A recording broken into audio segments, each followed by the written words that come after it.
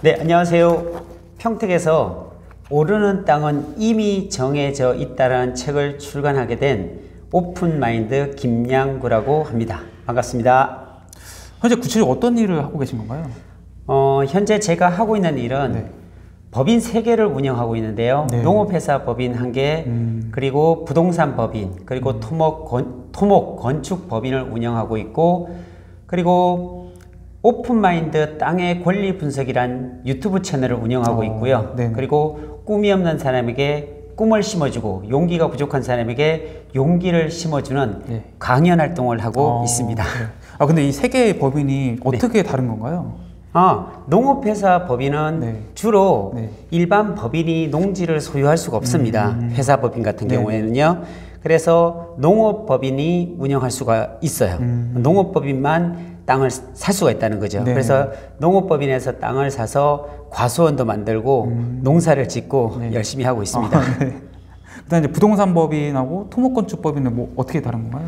어, 법인을 여러 가지 여러 개를 운영하다 보니까 네네. 이게 구분이 좀 돼야 될 필요가 있어요. 음. 땅을 전문적으로 사서 개발해야 되는 부분들이 아, 있잖아요. 네, 예, 그래서 전문적으로 땅을 매입하는 법인을 따로 뒀고 네. 그리고 그 땅을 산 것을 토목을 하고 개발을 하고 어떤 건축 행위를 통해서 음. 해야 되기 때문에 다양하게 어, 구분이 좀 돼야 될 필요성이 있어서 법인을 어, 나누어 놓았던 어, 것뿐입니다. 아 네.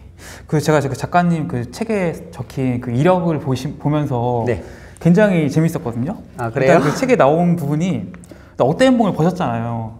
이제 회사 생활 하시면서. 네. 근데 이제 어때 연봉을 벌면서도 아 부자가 될 수 없다. 이걸 오히려 아셨다고.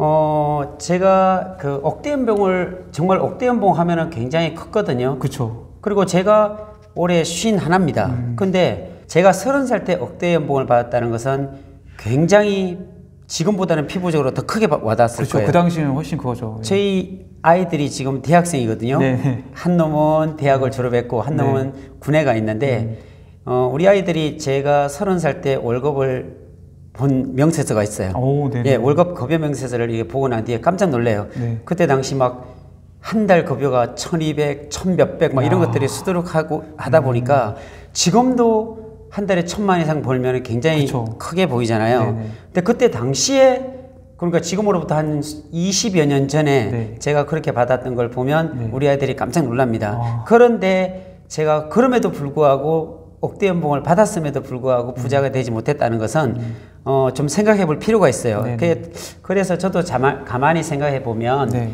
제가 직장 생활할 때는 한 2,500만 원 정도 급여를 통해서 살았습니다. 음. 그런데 2,500만 원 급여를 받으면서 살아도 부족했지만 네네. 아끼면서 아이들하고 살 수가 있었어요. 음. 줄이면서 네네. 풍족하게 살지 못했죠. 그런데 억대 연봉을 받으면 어떤 일이 네네. 일단은 차가 바뀌어요. 아, 그쵸. 큰 차로 네, 바뀌고 네, 네. 그리고 집도 바뀌어요. 음. 그러니까 전에는 전세 살던 것이 이제 집을 사, 게 되고 그쵸. 그리고 어, 차도 바뀌게 되고 해외 여행도 가게 되고 음. 그리고 아이들 유학도 보내고 이렇게 저렇게 쓰다 보니까 생활비로 거의 다 나가게 돼요. 음. 그러니까 결국은 억대 연봉을 받아도 투자하지 않으면 네. 그게 굴러가지 않으면은 결국은 직장 생활하는 거에 비해서 그렇게 큰 차이 나지 않는다. 음. 그걸 제가 충분히 경험을 했습니다. 그래서 절대로 네. 억대 연봉을 받아도 그 억대 연봉 받은 것을 재투자해 가지고 자산을 정식시키지 않으면 네네. 절대로 우리나라에서는 부자가 될 수가 없다는 것을 제가 깨달았죠. 그러니까 그거랑 연결되는 지점에서 이제 네. 노동 수입으로는 절대 부자가 될 수 없다. 네. 어, 그러면 이제 젊었을 시절에 굉장히 일을 많이 해보신 거죠? 굉장히 다이나믹하게 제가 일을 해봤죠. 네네. 어떤 일도 어떻게 얼마나 힘들게 하셨나요? 네, 제가 그 직장 생활을 오래 해- 하진 않았어요. 네네. 군대 제대 후에 네. 어, 다른 친구들보다 다른 우리 동료들보다 좀 더 많은 수입을 벌기 위해서 음.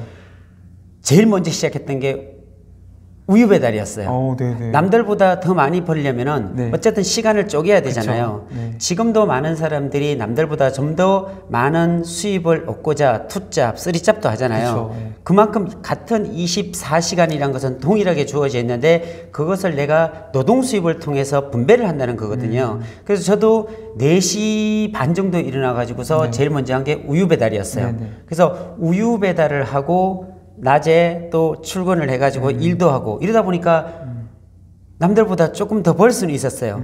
근데 그걸 한 1년 정도 하다 보니까 내 몸이 거의 망가지더라고요. 새벽 4시 반에 한참 혈기왕성한 네. 잠도 많이 자야 될 그런 청년 시절에 네. 그러니까 혹사를 하다 보니까 몸이 일단은 망가지고 생각이 멍해집니다.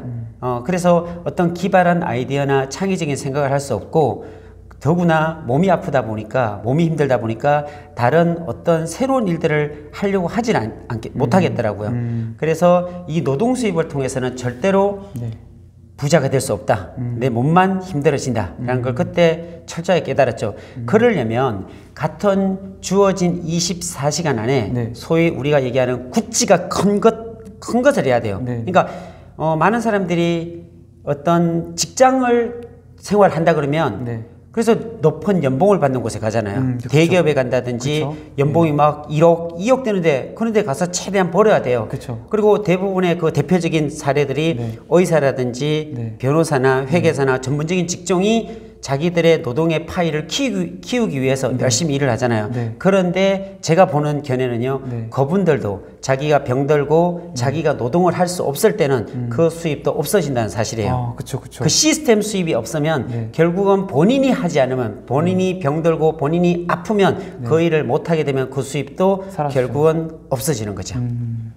아 그럼 이제 이렇게 이제 몸소 이제 억대 연봉도 받으시고 노동으로도 엄청나게 많이 노력을 해보셨잖아요. 네. 그러면은 제 생각에는 좀 자녀 교육도 좀 다르실 것 같아요. 그러니까 대부분의 이제 우리 네. 부모님들은 뭐 공무원 시험 준비해라 아니면은 대기업을 가라 네. 아니면은 전문직을 뭐 해라 네. 이런 식의 조언을 많이 하잖아요. 네. 자녀들한테 어떻게 좀 조언해 주시나요? 아, 이 좀 에피소드가 있는데요. 네, 네. 그 저희 제 자녀가 셋이에요. 음, 셋인데 네. 큰애가 이제 대학교를 졸업 후 지금 열심히 법무사를 하고 있어요. 어, 근데 네. 이 친구는 학교에서 공부를 정말 잘했어요.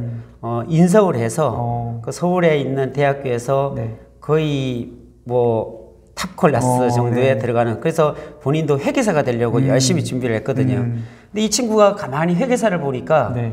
그 회계사는 자기 직장 선배를 찾아가 봤어요. 어. 네. 회계사가 된 직장 선배를 찾아가 보니까 밤 10시까지 외감 다니고 있는 거예요. 음. 회사의 그 모든 자료들을 정리하고 있는 거예요. 음. 연봉은 많지만 저렇게 10시, 11시까지 야근을 해야 되고 철야를 해야 되고 음. 이런 일들을 하는 것을 보면서 어, 본인은 회계사가 되면 안 되겠다 이 생각을 한 거예요. 음. 그 다음에 뭘 하려고 그랬냐면 네. 세무사를 한다 하더라고요. 그래서 세무사를 한번 해봐라 네. 라고 했더니 세무사 가서 자기가 세무사 자격증을 따가지고서 바로 세무사가 된, 되는 줄 알았나 봐요. 네.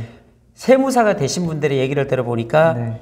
결국은 한 5년 가까이를 그 밑에서 잡무부터 시작해서 그쵸. 해세무에 관련된 일을 다 배우고 난 뒤에 자기가 세무사를 개업할 수 있는 거예요. 네, 네. 그, 그러다 보니까 이 친구도 그것도 어려운 거예요. 우리 딸이.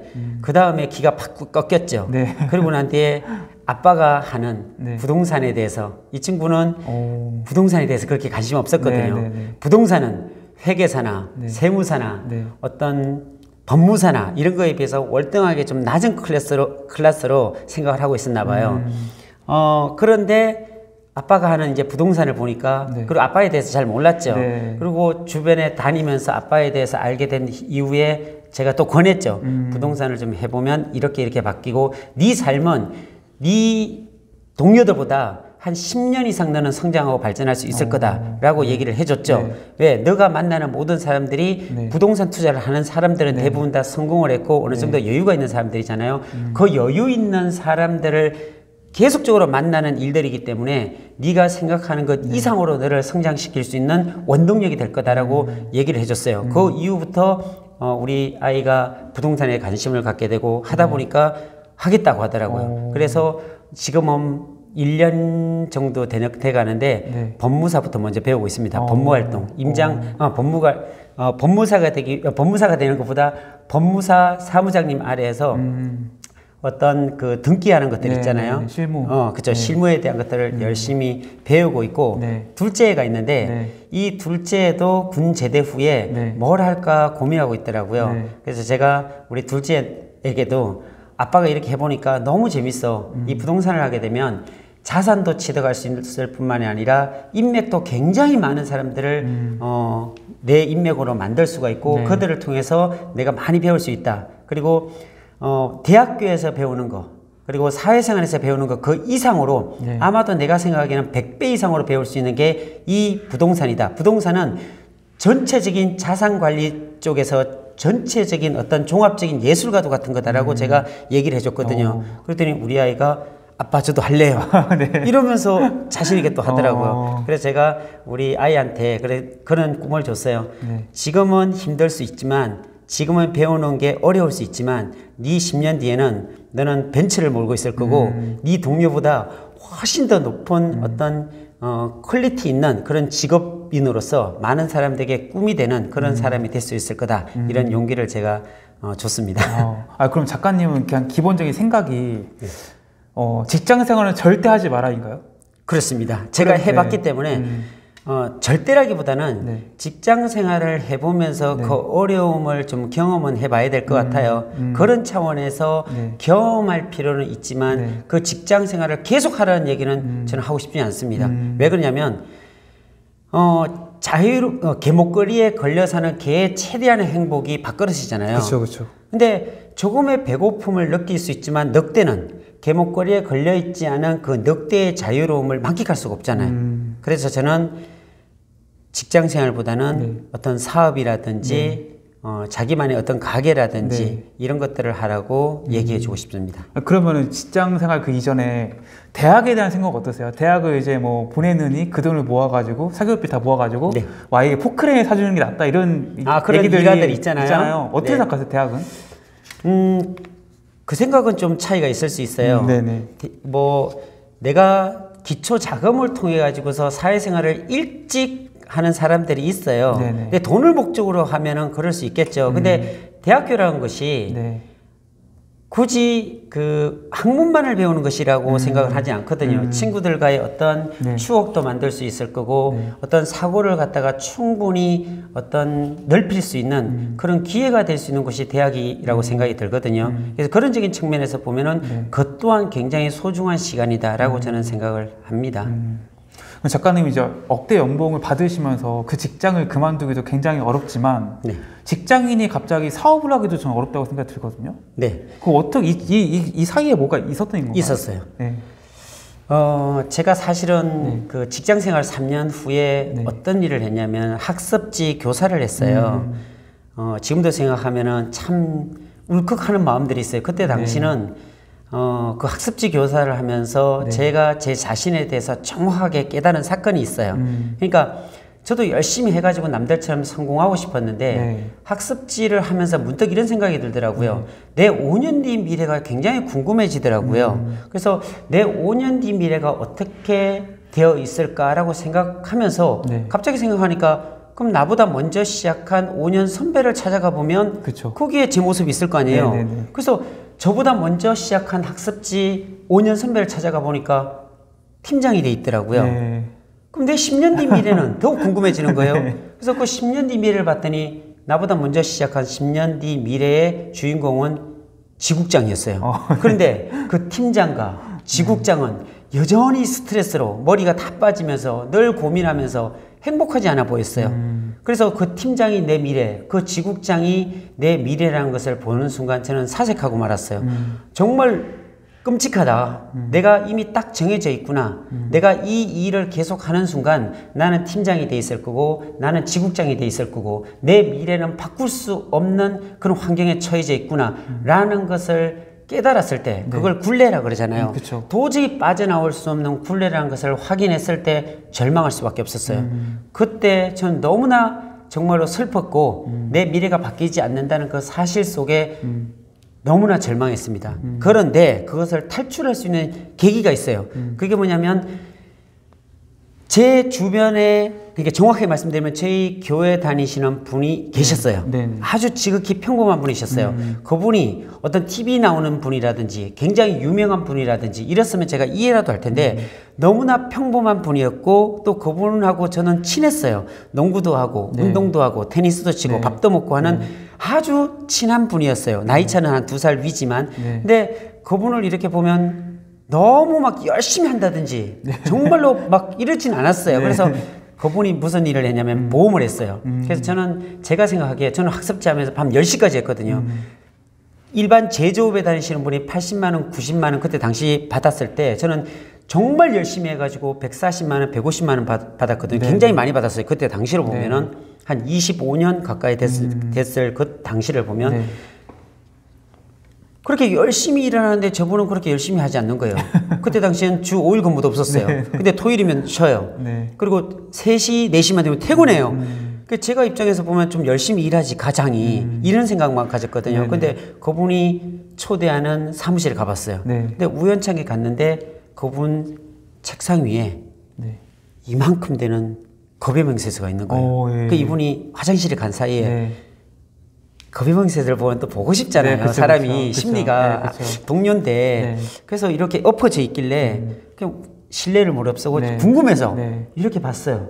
봤는데 한 달 수입이 800만 원, 와. 800 몇십만 원. 120만 원이실 때. 그렇게요. 네. 그또 하나를 봤는데 900 몇십만 원, 700만 원, 800 이게 거의 3년치 이상이 어. 한 5년치 가까이 된 것 같아요. 아, 한두 장도 아니고 이렇게 쌓여 있는 거예요. 제가 그걸 보는 순간 너무 깜짝 놀랐어요.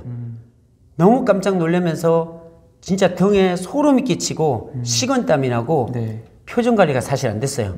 그걸 보는 순간 가슴이 뛰었고 두려움이 엄습했고 그 길로 저는 사무실을 박차고 그냥 나가버렸어요.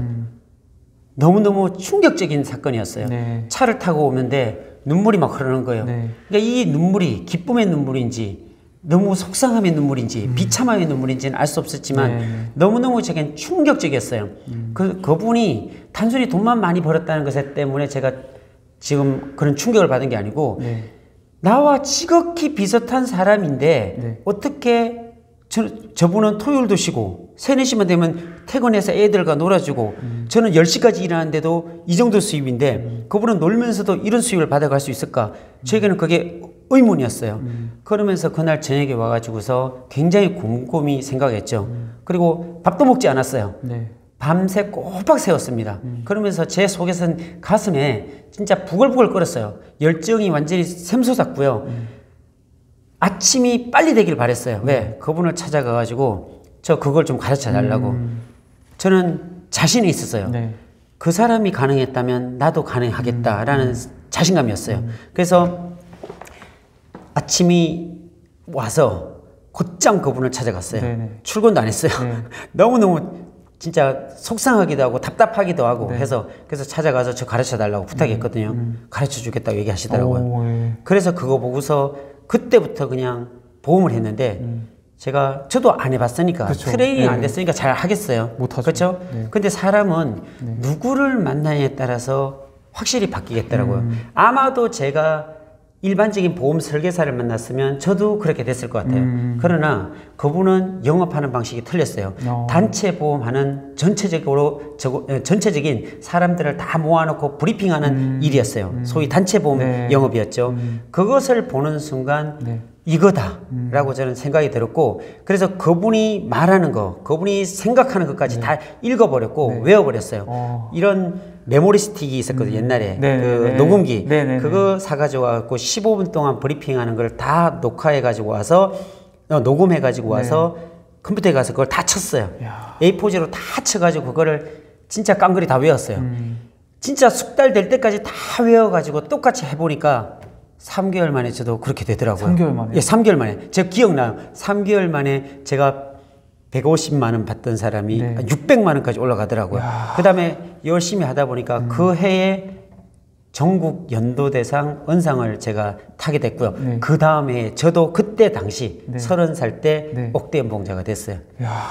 정말 너무너무 열심히 했거든요. 음. 근데 제가 한 가지 정말 열심히 할 수 있었던 그 열정적인 동기는 있어요. 네네. 사람이라는 게 특히나 남자는 그렇잖아요. 누군가에게 인정받는 것 맞아요. 때문에 목숨 걸죠. 맞아요, 맞아요. 그죠? 위에 상사가 너 진짜 최고야. 그쵸. 너는 할 수 있어. 이런 것 때문에 진짜 발몰 새도 힘이 들지 않는 그쵸, 거예요. 예. 저에게는 그런 동기가 있었어요. 어떤 거냐면 그 수원 지점에 가면 네. 억대 연봉자 리스트가 쫙 있어요. 전국에서 제일 잘하는 지점이었거든요.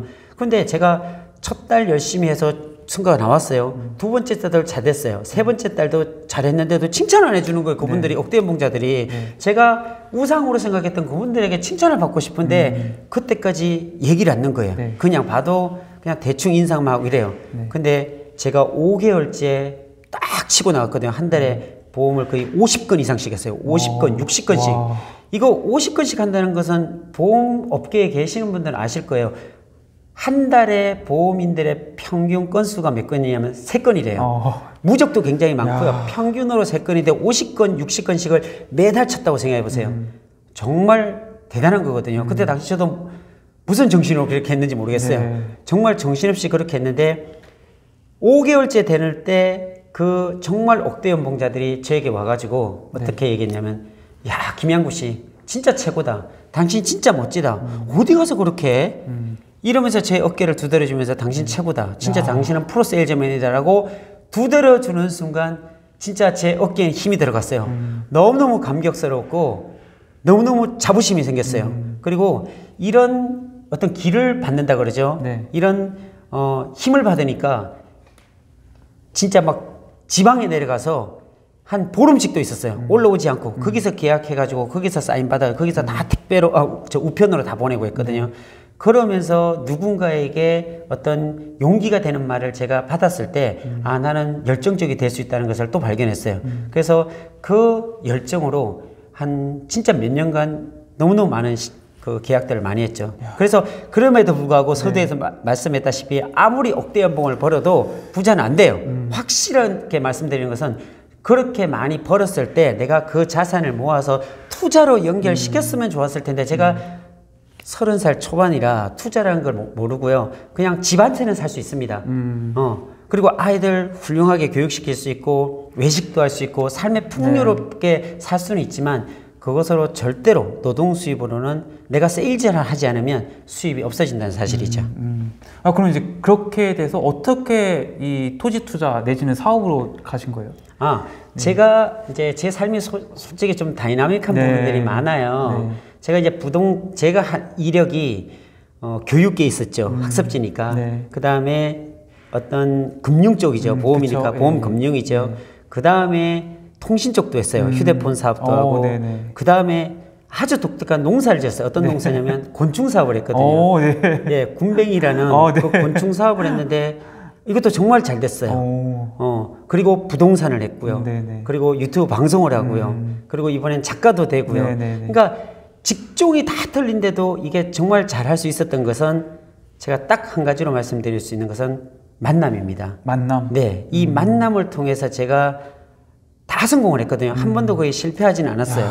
그러니까 내 속에 그때 그때 아까 보험에서 얘기했던 그 중요한 샘플이 있었잖아요. 네네. 저를 막 옆에서 계속 트레이닝 시켜준 것도 아니에요. 그냥 잘 되는 거 본 봤다는 그 사실입니다. 네. 그 사람이 되는 것을 내 눈으로 확인했기 때문에 네. 그 사람이 눈이 있고 저도 눈이 있고 들을 수 있는 귀가 있고 말할 수 있는 입이 있는데 내가 못할 이유가 없다. 라는 어떤 자신감 이런 것들이 성공 샘플, 좋은 만남 이런 것들이 있었기 때문에 가능한데 그게 휴대폰 가게든 건축 사업이든 다 마찬가지였어요. 그 속에 곳곳에 중요한 사람들과의 만남이 있었기 때문에 제가 그렇게 될 수 있었고 특히나 부동산이라는 것을 접할 수 있었던 것이 어떤 네. 부분이냐면 제가 휴대폰 가게를 했었는데 네. 지금으로도 한 7년 정도 된 것 같아요. 음, 네. 7년 전에 그 휴대폰 가게 건물주 사장님이 네네.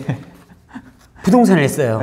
근데 제가 휴대폰을 했는데도 불구하고 2년 동안 그렇게 권했는데 제가 안 했어요. 음. 어, 김 사장, 김 사장은 말도 잘하고 보험도 잘하고 이러니까 거의 뭐 부동산 하면 굉장히 잘할 거다. 브리핑도 굉장히 잘할 거니까 음. 부동산 해보라고 그렇게 네. 얘기를 하는데 참고적으로 그, 어, 휴대폰 가게 빌딩 주인분은 거의 뭐 그때 당시에도 막 5, 60억대 이상 부자였어요. 어. 그런데도 저는 관심이 없었어요. 왜? 그분은 뭐 나름대로 잘 열심히 해서 그렇- 그렇겠지. 내 분야가 아니다.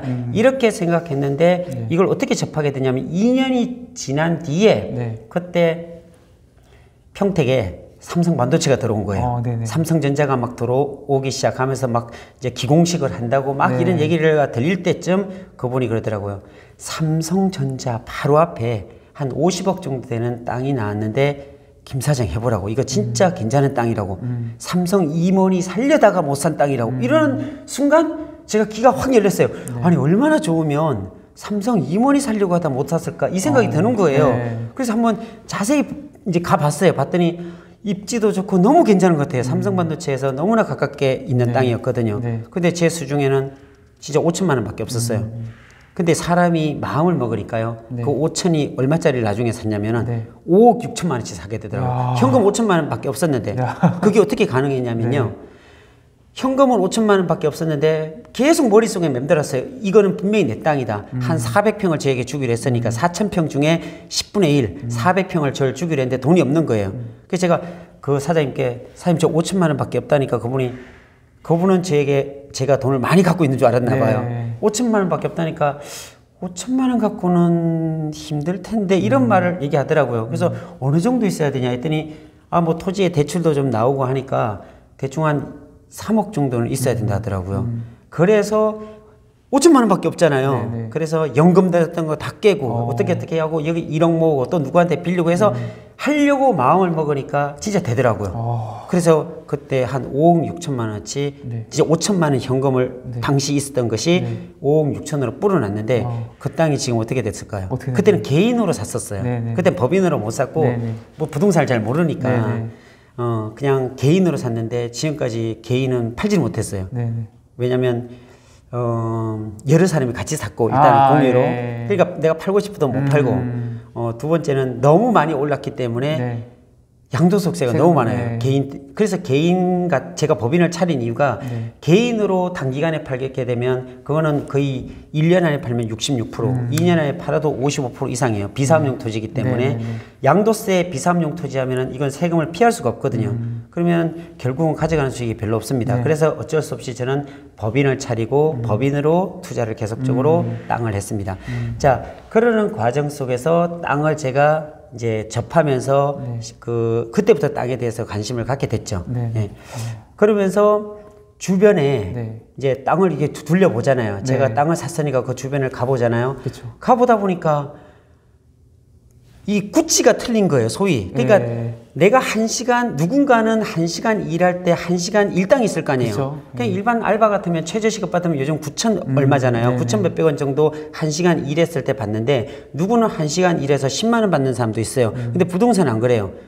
누구는 한 시간 일했는데 한 시간에 몇백만 원을 받아요. 한 시간에. 야, 제가 이렇게 해서 거의 3년 만에 1억 갖고서 네. 거의 100억이 훨씬 더 넘어왔어요. 100배를 하신 거예요. 그렇죠. 근데 이거는 사실 시작에 불과하다. 저는 그 생각이 들어요. 음. 예, 토지를 몰랐을 때는 네. 그냥 내 일이 최고인 줄 알고 음. 보험도 하고 그다음에 휴대폰 가게도 하고 뭐 곤충농사도 짓고 네. 거기서도 그렇게 다 억대로 나왔으니까요. 네. 예. 뭐 휴대폰 가게에서도 억대 연봉 나오고 곤충 사업을 해도 억대 연봉 나오고 동시에 네 개 일을 다 했었어요. 부동산도 그때 같이 했어요. 음. 부동산도 하고 그다음에 휴대폰 가게도 하고 음. 그다음에 보험도 하고 다 수입이 다 나왔는데 몸이 너무 힘든 거예요. 그쵸, 그쵸. 이게 노동 수입을 통해서는 절대로 부자가 못 된다는 말이 맞아요. 그래서 싹 다 정리했어요. 그냥 정리하고 이제 부동산만 하자라고 해서 부동산을 하면서 유튜브까지 같이 하게 된 거죠. 그래서 그때 부동산을 처음 접하면서 계속 그때부터 부동산에 대한 어떤 그이 수익을 내가 보게 된 거죠. 이게 어떻게 집 주인이 아, 그 건물주 주인이 50억이 됐을까? 네. 이제 그 그것에 대한 궁금증을 계속 하면서 계속 따라다니고 네. 그리고 뭐 임장 활동 가는 거 네. 계속 따라다니면서 내가 사는 땅 주변을 계속 다니면서 그 주변 부동산을 3일에 한 번씩 다녔어요. 그러다 보니까 그 평택 삼성 반도체 아래에 보면 방충리 지제역이라고 있어요. 네, 지제동이라 그러죠. 네. 그 주변을 3일에 한 번씩 삭삭히 다 뒤졌어요. 네. 부동산도 뒤지고 거기에서 실거래가 일어난 것들을 다 조사하다 보니까 네. 그 땅이 얼마부터 시작해서 얼마까지 올라간 것들이 다 기억나잖아요. 음. 그 주변 땅이요. 제가 봤을 때만 해도 100만 원, 120, 150 요 사이였거든요. 네. 그게 지금 얼마까지 올라간지 아세요? 얼마예요? 7년 만에 2,500까지 갔어요. 용도 지역이 다 상향이 돼 버렸어요. 야. 일반 계획관리 땅이 준주구가 돼 버리고 음. 일반 80만 원, 90만 원 땅, 땅들이 400, 500까지 다 갔어요. 음. 3m 도로에 부- 붙어 있는 이런 땅들조차도 그렇게 되더라고요. 음. 그래서 정말 이런 생각하면 지나간 그 시간들을 파노라마처럼 계속 되돌아보면 와 이런 일들이 있구나. 세상에 여전히 존재하구나. 라는 것들을 평택이 성장하면서 발전하면서 거기서 다 보게 된 거죠. 그러면서 이런 것들을 통해서 화성에 가고 안성에 가고 용인에 가서 다 제가 배웠던 것들을 펼치게 된 거죠. 아 그럼 작가님이 그 투자했던 5억 정도 해서 투자한 그 땅은 네. 얼마가 된 거예요 지금? 지금은 한 네 배 가까이 됐죠. 근데 그게 네. 너무 입지가 좋아도 안 좋아요. 그게 지금 수용이 됐어요. 아 진짜요? 어, 너무 좋. 그러니까 거기가 개발 제한 지역으로 묶어버리고요. 거기에 첨단 복합 산업단지가 아, 들어오면서 네. 수용이 됐는데 네. 저 지금까지 땅 사면서 지금 두 번 수용됐어요. 아? 음. 그러니까 입지를 너무 좋은 곳 사도 수용이 됩니다. 근데 저는 뭐 나쁘진 않아요. 왜? 땅을 워낙 그때 당시 저렴하게 네. 샀기 때문에 아마도 수용가도 300 이상, 음. 한세배 가까이는 받을 수 있을 거예요. 만약에 수용이 안 됐으면 한 다섯 배는 받겠죠. 아, 네. 근데 뭐 수용돼도 어쩔 수 없습니다. 네. 그 근데 보통은 이제 부동산 투자하시는 분들은 이제 처음에 뭐 빌라나 아파트 하시고 뭐 상가 하시고 해가지고 토지가 가장 어렵다고 해서 최종적으로 토지로 가거든요. 네, 예, 맞습니다. 작가님은 뭐 처음부터 시니까 그냥 토지만 하신 건가요? 예, 투지만 했어요. 어. 아파트는 거의 안 했어요. 그럼 작가님이 이제 경험해 보신 걸 토대로 했을 때 네. 부동산 투자 중에서 토지가 가장 으뜸인 이유가 있을까요? 어, 토지가 어떤 이유, 이유는 네. 뭐니 뭐니 해도 수익이 가장 좋아요. 어, 어, 제가 생각했던 거는 네. 네. 남들이 생각하면은 투- 토지 투자하면은 오래 기다려야 된다고 생각하잖아요. 그쵸, 예. 5년 기다려야 되고 10년 10년 기다려야 되고 뭐 예. 20년 동안 묶였다 이거 그러잖아요. 네. 제가 100개 이상 땅을 사봤거든요. 네. 네. 몇 개가 떨어졌을 거라 생각되세요? 아 땅이라서 사실 거의 안 떨어졌을 것 같아요, 사실. 어, 맞죠. 네. 예, 땅은 아시네요. 네. 땅은 안 떨어져요. 음. 왜냐하면 땅은 손해 보고 파는 사람이 없어요. 그쵸, 예. 그리고 땅을 내가 샀다가 1년 뒤에 팔, 팔겠다 이런 사람도 단 한 사람도 없어요. 근데 아파트는 갭 투자도 하고 많이 하잖아요. 음. 그쵸, 그쵸. 근데 땅을 사면서 내가 나 3개월 뒤에 팔 거야. 네. 나 1년 뒤에 팔 거야. 라고 생각하는 사람이 없기 때문에 어려워지더라도 경기가 음. 어려워지더라도 그냥 잠가놔요. 팔 생각도 안 합니다. 음. 그리고 절대로 자기가 산 것보다 마이너스 되고 팔고 그러진 그쵸, 않아요. 그쵸. 근데 저는 100개의 땅을 사면 네. 그냥 비슷한 게 아니라 100개가 다 올랐어요. 어. 만약에 1000개를 사도 마찬가지일 것 같아요. 왜? 저는 오르는 땅만 샀거든요. 어. 그러니까 이미 네. 오르는 땅으로 정해져 있는 땅을 찾으면 되는 거예요. 음. 예. 그러니까 우리 권 유튜브님께서 네, 네. 아마도 어머니 뱃속에서 수정이 되면서 뭐로 정해져 있을까요? 이미 남자로 정해져 있어요. 네. 그쵸, 그쵸. 다만 사람들이 밖에서 모를 뿐이에요. 그쵸, 모를. 엄마도 모르고 아빠도 네. 모르고 주위 사람들 삼촌이나 다 모를 거예요. 근데 이미 수정되는 순간 남자로 이미 태어나기로 결정이 돼 있어요. 굳이 태어나서 확인 안 해도 이미 뱃속에서부터 결정이 돼 있습니다. 음. 이걸 땅으로 따지, 따져 본다면 이미 오르는 땅으로 정해져 있어요. 음. 오르는 땅은 이미 결정돼 있는 거예요. 사람들이 잘 모를 뿐이지 음. 오르지 않은 땅들을 가보면은 대부분 다 사람들이 잘 몰라요. 네. 근데 오르는 땅으로 결정돼 있는 곳에 가면은 뭔가 특징적인 것이 있어요. 제가 그건 좀 깊숙한 부분들이 음, 네. 굉장히 많은데 네.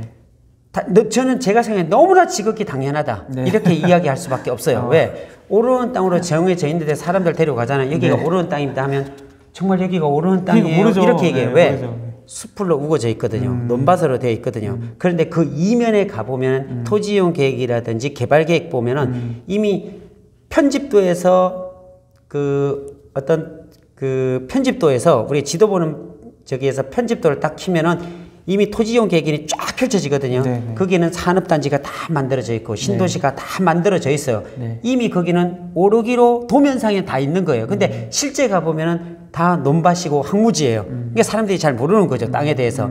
땅에 대해서 정확하게 알게 되면 이미 개발 계획이라든지 이런 것들이 다 정해져 있거든요. 네, 네. 근데 거기에 사면은 기다리기만 하면은 올라가는 거예요. 음. 근데 제가 하는 방식은 그런 방식으로는 좀, 조금 차이가 있어요. 왜? 네, 그런 방식은 이미 개발하기로 발표가 됐다가 쭉 땅값이 올랐어요. 네. 올랐다가 시간이 경과되면서 한참 걸립니다.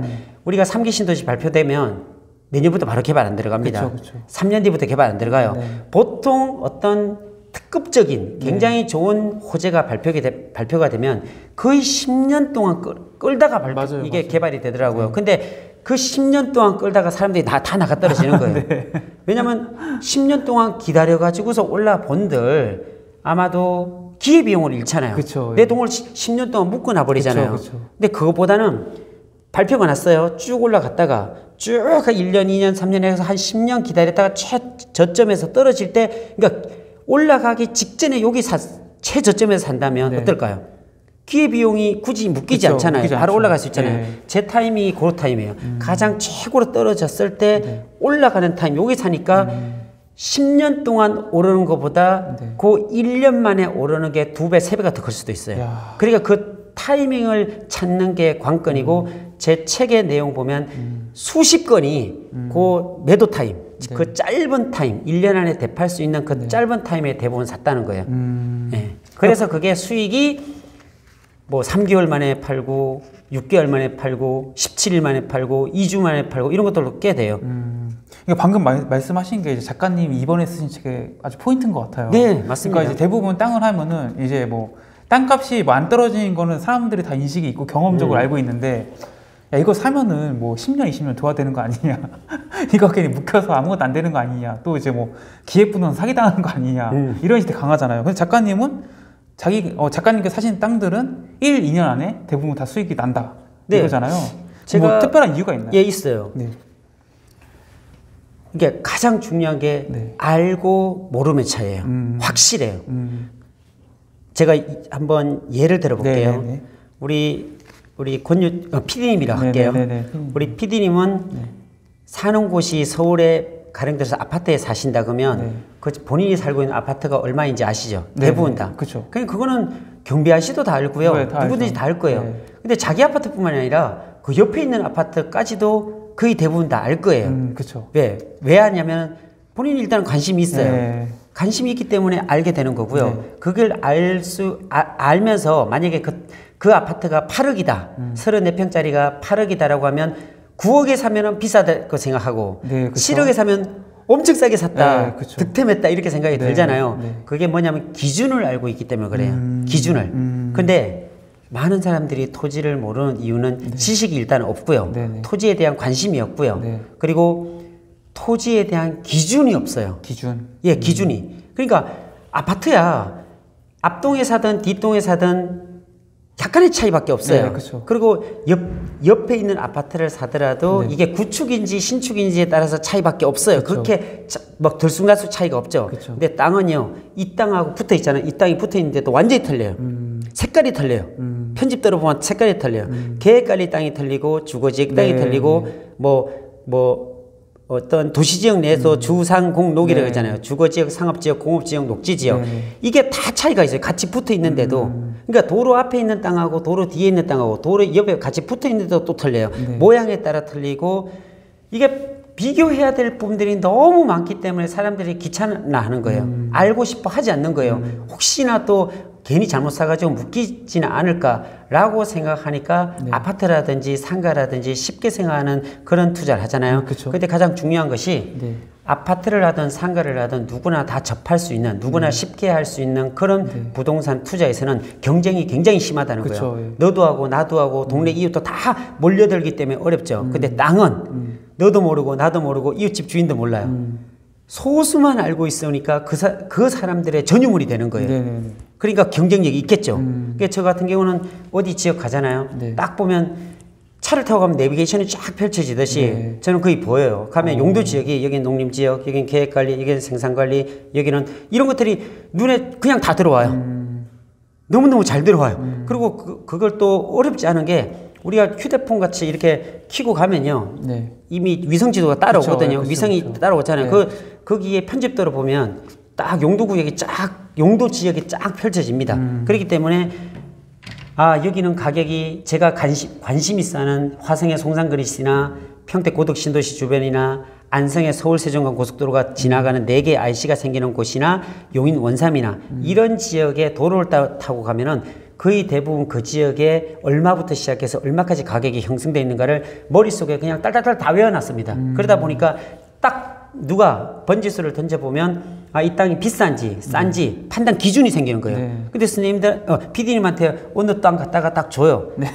기준이 없으니까 이게 그쵸. 비싼지 안 비싼지 알 모르죠. 수가 없는 네, 거예요. 모르죠. 그렇죠? 그러니까 그런 부분 속에서 보면 저는 지방에 만약에 어디 청, 청주에 어느 시골의 땅을 갖다가 저한테 주면 저도 몰라요. 음. 왜? 가보지 않았기 때문에, 경험하지 않았기 때문에. 네. 그, 부- 그 부분에 대해서 어떤 권리 분석이나 이런 음. 입지 분석이나 가격 분석을 해보지 않았기 때문에 저도 모릅니다. 그래서 저는 가장 잘 하는 곳이 딱 정해져 있어요. 음. 화성, 평택, 용인, 원삼, 그다음 안성 지역. 음. 이곳은 제가 수시로 지금 다녔고 네. 거의 한 5, 6년간 그 지역에 대해서 계속적으로 연구하고 음. 분석하고 찾아가고 임장 가고 만나고 이런 시간들로 보냈기 때문에 음. 그게 관련된 부분들은 거의 웬만하면 머릿속에 다 집어넣기 때문에 넣기 때문에 네. 어, 비교 분석이 정확하게 될 수 있죠. 그게 한마디로 말씀드리면 네. 암과 모름의 차이라는 거죠. 모르기 때문에 어렵고 아파트는 알기 때문에 쉽고 음. 알기 때문에 쉽다는 것은 경쟁에 있어서 너무 수익률이 낮고요. 네, 서로 그렇죠. 너무 너무나 많이 하니까 예, 그런 차이가 있다는 것을 말씀드립니다. 그럼 작가님께서 지금 100군데 정도 이 땅을 이제 예. 투자를 하셨다고 했잖아요. 그럼 그 중에서 가장 크게 수익이 났던 거 얼마나 났- 나신 거예요? 저는 그냥 그- 퍼센테이지로. 아니 퍼센테이지로 보면요. 네. 제가 거의 샀던 것들이 오래 묵혀놓은 것들이 거의 없어요. 네, 네. 대부분 농지 같은 경우는 어쩔 수 없어요. 농지는 빨리 팔지 못합니다. 네, 법으로도 문제가 생겨요. 네, 네, 그래서 농지 같으면은 3년 동안을 유지해야 되고 네. 3년 동안 유지하지 못하면 비삼용 토지가 돼버리고 어, 네. 음. 또 문제가 생겨요. 그래서 농지 같은 경우는 어쩔 수 없이 네. 3년은 가져가야 됩니다. 음. 그러나 부동산 같 이제 부동산 법인에서 산 임야라든지 대지라든지 네. 어떤 이런 어, 투자 상품 같으면은 네. 음. 거의 1년 안에 거의 대부분 다 소진합니다. 그러니까 그런 부분들에 보면 수익률이 거의 600% 가까이 600% 요? 예, 실제로 600% 정도 된 것도 책에도 나와 있고요. 음, 네. 뭐 투자 대비 이게 실투자금 그러니까 쉽게 생각해 보면 네. 어 내가 10억의 땅 산다면 크잖아요 일반인들이 네. 생각하기에 제가 보면 그렇게 큰 건 아니에요 음. 실제로 보면은 10억이다 그러면 대출이 5억 나오잖아요 음. 그러면은 5억밖에 안 들어가요 근데 그때 당시 돈이 없다 그러면 누가 투자금을 또 받아요 그쵸. 3억 정도 받으면 2억 갖고서 21억에 판 적도 있어요 음, 와. 2억 갖고 야, 대단하다 진짜. 근데 그게 네. 3개월 만에, 4개월 만에 이런 경우가 생긴다고요. 그러니까 그게 그러면 거꾸로 한번 생각해 보면 사람들이 많이 물어요. 어떻게 그렇게 수익을 낼 수 있어요? 단기간에 이런 얘기를 하잖아요. 근데 저는 지극히 당연하다고 생각이 들거든요. 제가 이제 투자하는 원칙이 있어요. 네. 땅에 대해서 투자하는 원칙이 있는데 이건 정말로 중요한 겁니다. 네, 네. 중요한 건데 네 가지 원칙이에요. 네. 확실하게 말씀드릴 수 네. 있어요. 첫 번째로 네. 경기도 이외 지역은 안. 오. 예, 그 특징이 있어요. 경기도 이남 지역은 특히나 안 사요. 음. 왜 그러냐면 대부분의 투자가 다 경기도에서 일어나는 거예요. 음. 산업단지나 신도시나 인구 증가가 되는 곳이 네, 네, 네. 이, 이, 이 경기도에서만 다 일어나요. 음. 그렇기 때문에 경기도 이외의 지역의 땅은 눈길도 안 줘요. 음. 자, 경- 그럼 경기도 땅 중에서도 네. 호재가 있는 지역이에요. 제가 얘기하는 것은 대규모 신도시, 대규모 산업단지가 만들어지는 이런 곳에 네. 땅을 삽니다. 첫 번째예요. 음. 두 번째, 가격을 절반 가격으로 사요.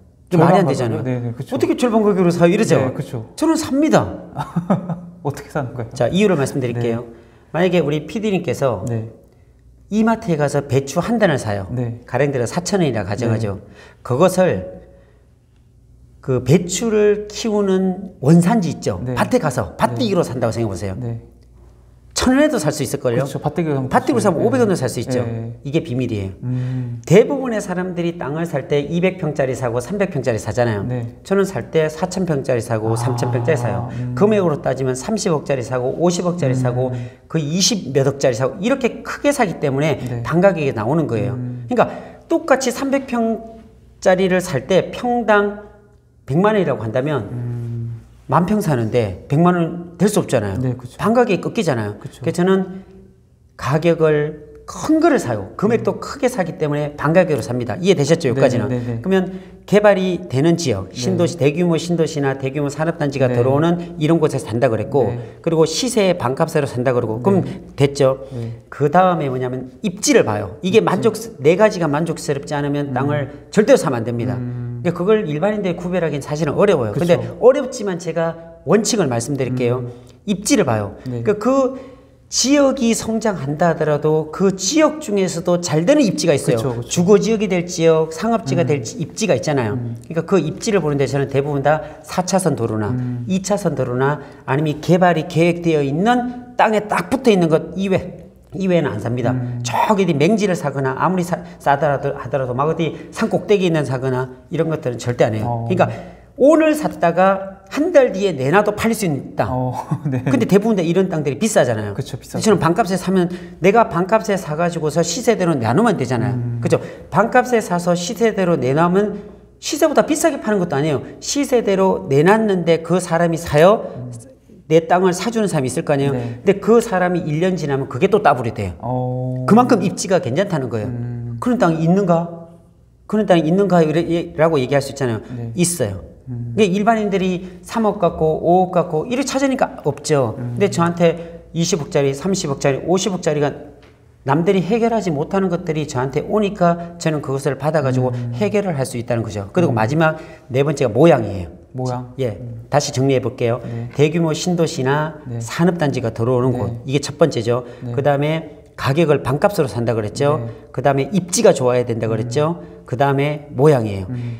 이게 다 좋은데 모양이 삐뚤삐뚤하고 도로에 한 뭐 6m만 붙어 있고 뒤쪽으로 항아리 네. 모양처럼 이렇게 돼 있다. 이거는 진짜 활용할 할 수가 없어요. 개발하더라도 내부도로 다 내야 되고 시간도 걸리고 토목해도 너무 힘들어요. 음. 그 그런 땅 다 만족하더라도 그런 땅은 저는 안 삽니다. 음. 그러면 결국은 얘기하면 자 휴대폰을 갖고 얘기할게요. 네. 도로가 이렇게 있다면 도로에 딱 붙어야 되고요. 네, 네. 붙어도 어떻게 붙어? 뭐 6m, 10m가 아니라 200m 붙고 이런 것들. 그러니까 직사각형 형태로 끼단하게 붙어 음. 네, 있잖아요. 네. 이렇게 되면은 모양이 좋아요. 어떤 모양? 나중에 분필 잘라 팔 수가 되게 쉽다는 거예요. 기획 부동산처럼 막 바둑판처럼 자르는 게 아니라 음. 네, 네. 2차선 도로, 4차선 도로에 길게 붙어 있기 때문에 이런 땅을 그냥 도로에 다 붙었으니까 다 만족할 수 있잖아요. 네, 네, 네. 내 땅을 샀는데 4차선에 다 붙었어요, 다. 모든 사람이. 이건 누구나 다 만족할 수 있는 거잖아요. 음, 그쵸. 근데 이런 땅이 거꾸로 가, 갑니다. 반 가격으로 나왔어요. 네. 그럼 살 수 있는 거잖아요. 그쵸. 이런 땅이 입지도 좋아요. 살수 있는 거잖아요. 그쵸. 이런 땅이 신도시나 산업단지 돼 있는 거예요. 살수 있잖아요. 제가 따- 산 땅들이 다 100개면 100개가 이런 위치예요. 그러니까 시스템이에요. 이거는 어떤 운이 좋아서 산 게 아니고요. 운이 좋을 운이 좋아도 한두 개가 운이 좋죠. 어떻게 100개가 다 그쵸, 운이 좋을 수 그쵸, 있어요. 그쵸. 그러니까 이거는 실력이고 이거는 어떻게 보면 시스템적인 방법이에요. 음. 내가 어떤 이러한 컵에 대한 것들을 내가 하나하나 깎아 만든다고 하면 모양이 다 틀릴 수 있어요. 그쵸. 근데 이걸 다이캐스팅 같은 금형에다 찍어내면은 100개를 찍으면 100개가 다 똑같죠. 음. 털려지는 게 기적이에요. 어떻게 하면 털려질까? 오르는 땅이 그겁니다. 오르는 땅은 이미 정해져 있기 때문에 오르는 오르기로 작정돼 있는 거 그냥 찍으면 되는 거예요. 개발이 되는 지역, 신도시가 만들어지는 지역, 가격이 낮은 거, 덩치가 큰 거, 그리고 입지가 좋은 거, 모양이 좋은 거 다 나왔습니다. 이 네 가지만 만족이 되면 절대로 실패할 수가 없고 물리지도 않는다는 사실이에요. 이런 땅들은 사서 시세대로 팔면 그 산 사람이 1년을 갖고 있으면 또, 따- 또 올라요. 그게 대부분 다 화성에 있는 땅, 안성에 있는 땅, 용인에 있는 땅. 제가 거래를 했고 제가 소개해 줬던 분들은 다 그런 식으로 다 올랐습니다. 아, 이제 실제 좀 구체적으로 투자 사례를 좀 설명해 주면 좋을 것 같아요. 그래서 제가 책에서 몇 개 좀 꼽아왔는데, 네. 경기도 화성시 송산면 삼존리 네. 여기에 좀 투자했던 사례를 설명해 주면 좋을 아, 것 네. 같아요. 네. 그땅 같으면 사실은 네. 일주일 만에 샀다, 살, 5억에 사가지고서 정확하게 5억 200만 원에 샀어요. 네네. 5억 200만 원에 사가지고서 일주일 만에 사실은 팔았던 거예요. 음, 근데 일주일 만인데 왜 거기 4개월이나 되어 있나? 네. 등기가 된 게 4개월이지 아. 내가 등기하고 계약한 일자가 바로 판 계약 일자가 일주일밖에 안 돼요. 어. 그 자세히 보면 네네. 그리고 그 사람이 등기를 넘겨 받아야 되잖아요. 네네. 음. 그게 어떤 허가권도 있고 이러다 보니까 수, 그 수호가자 변경까지 하는 시간이 걸려서 4개월이지 아. 실제로는 계약하고 일주일 만에 파- 다시 판 게 10억이야. 그러면 음. 그 사람은 일주일 만에 사는 사람 입장에서 보면 아니 당신은 이거 평당 70만 원에 사가지고 나한테 그때 150만 원인가 140인가에 팔았어요. 네. 제가 정확히 기억 안 나지만 네. 어쨌든 그렇게 해서 금액으로 따지면 10억에 팔았어요. 두 배로 두 배로 판 거죠. 판 거죠. 그 당신은 5억에 사가지고 어떻게 그 사람도 다 알았어요. 어떻게 네. 10억에 파냐 이렇게 피디님. 같으면 좀 네. 억울하게 네, 생각하잖아요. 이해하겠죠. 예. 그렇죠. 좀다 알려줬어요. 근데 그 주위에 보면 시세가 그렇게 됐어요. 그리고 이거는 그 184만 평이 만들어지는 산업단지와 경계선에서 140m밖에 안 떨어졌어요. 그리고 이미 허가를 내놨고 공사까지 다 해가지고서 토목공사까지 다 돼 있는 제조장으로 허가 난 땅이었어요. 그러니까 제가 잘 잡은 거죠. 70만 원에. 그건 크지도 않고 사이즈도 작았고요. 그 이 자리를 말씀드리면 네. 열심히 임장 활동을 하게 되면 네. 그런 땅도 주, 줍는다라고 얘기를 하거든요. 음. 그러니까 그냥 오질 않고요. 우연찮게 가가지고 절대로 떨어질 수가 없습니다. 네. 열심히 임장을 하고 그 지역에 대해서 계속적으로 파고들고 늘 가서 그 살다 보면 네. 그런 땅도 많이 나와요. 제가 작은 땅도 많이 주웠거든요. 네, 네. 큰 땅만 사는 게 아니라 봐가지고서 작은 땅도 나오면 저는 삽니다. 음. 그런 땅들이 사실은 굉장히 많아요. 그런데 뭐가 문제냐면 그런 땅이 나와도 그 땅이 진짜 오를 땅인지 아닌지를 그쵸, 사람들이 그쵸. 구별하지 못한다는 그쵸, 거예요. 그쵸, 예. 그거는 사- 소위 파는 사람도 모르고 사실은 중개해 주는 사람도 잘 모르더라고요. 음. 그건 누가 아느냐? 그런 땅이 올라갈 것을 예상하고 이미 경험을 해본 사람은 가능해요. 아 저기가 산업단지에서 150m 정도 떨어진 땅은 네. 그게 얼마부터 시작해서 얼마까지 올라간다는 이미 예상이란 게 있잖아요. 예상이 아니라 이미 결과로 다른 지역에서 네. 이미 일어났던 것을 내 머릿속에 갖고 있다면 저 이미 경험했거든요. 근데 거기가 어떻게 150만 150m밖에 안 떨어진 게 70만 원에 나온다는 게 말이 안 되거든요. 음. 저 나오자마자 가계약금부터 무조건 넣, 넣거든요. 그러니까 그 삼종 땅이 저에게 소개해 주는 사람이 있었어요. 네. 그분이 아 좋은 땅이라고 사시라고 해서 저 입지 분석을 저는 딱 했죠. 해봤더니 너무 괜찮은 거예요. 음. 그래서 제가 이를 제가 땅 사는 방법 중에 하나가 또 하나가 음. 표정 관리를 잘해야 된다라는 말씀을 합니다. 네. 왜 그러냐면 이 표정 관리를 못했다가 날린 계약들이 굉장히 많아요. 어. 왜 그러냐면 너무 좋 좋아도 너무 좋다는 어떤 티를 내잖아요. 네. 안 판대요. 음. 내가 그쵸, 그쵸. 너무 좋다고 바로 계약하다 그쵸, 그러면. 이거 혹시 여기 뭐가 일어나는 거 아니야? 내가 실수하는 거 아니야? 음. 이러면서 잠깐 조금 다음에 생각하겠다. 네, 이런 경우들이 있어서 좋은 땅을 일단 받으면 마음속으로는 횡재죠. 막 네. 기뻐해요. 그런데 속으로는 꽉꽉 누릅니다. 아, 좋아. 너무 좋아. 근데 표정은 냉정하게 이제 얘기를 하죠. 그래가지고 이거 보니까 정말 괜찮아요. 근데 그분은 저랑을 또 잘 알고 있는 분이라서 소개해 주시길래 어 제가 이거 바로 휴대폰으로 저는 딱 땅을 볼 때 몇 가지를 하긴 하는데 우리가 이러- 이거와 바- 같은 거예요. 어떤 책을 읽을 때 가까이 대고 이렇게 보면 뭐안 보이잖아요. 보이죠, 길게 봐야지 책이 한눈에 다 들어오고 어떤 내용 하나하나가 다 들어오잖아요. 땅도 마찬가지예요. 땅의 위치를 갖다가 이렇게 주는데 지번을 보면 여기서 안 보이잖아요. 길게 늘어뜨려 가지고 대한민국 지도에서 아 화성 땅, 화성 땅 중에서 동탄이 아닌 송산 그린시티, 송산 그린시티 중에서도 산업단지, 산업단지 중에서 더 확대해서 보니까 150m 떨어진 이런 땅이었어요. 제가 보기에 입지가 너무 좋은 거예요. 아주 가까워요. 그리고 5m 도로가 다 확 대그 이게 계획이 다 5m 도로가 이미 나와 있는 상태고 허가가 떨어졌고 공사가 다 됐는데 70만 원이다. 제 생각엔 말도 안 되는 가격이었거든요. 저는 무조건 하겠다고 콜했어요. 그런데 그쪽에서 아, 다른 사람이 또 경쟁자가 붙어가지고 아 이거 계좌번호를 안 준다는 거예요.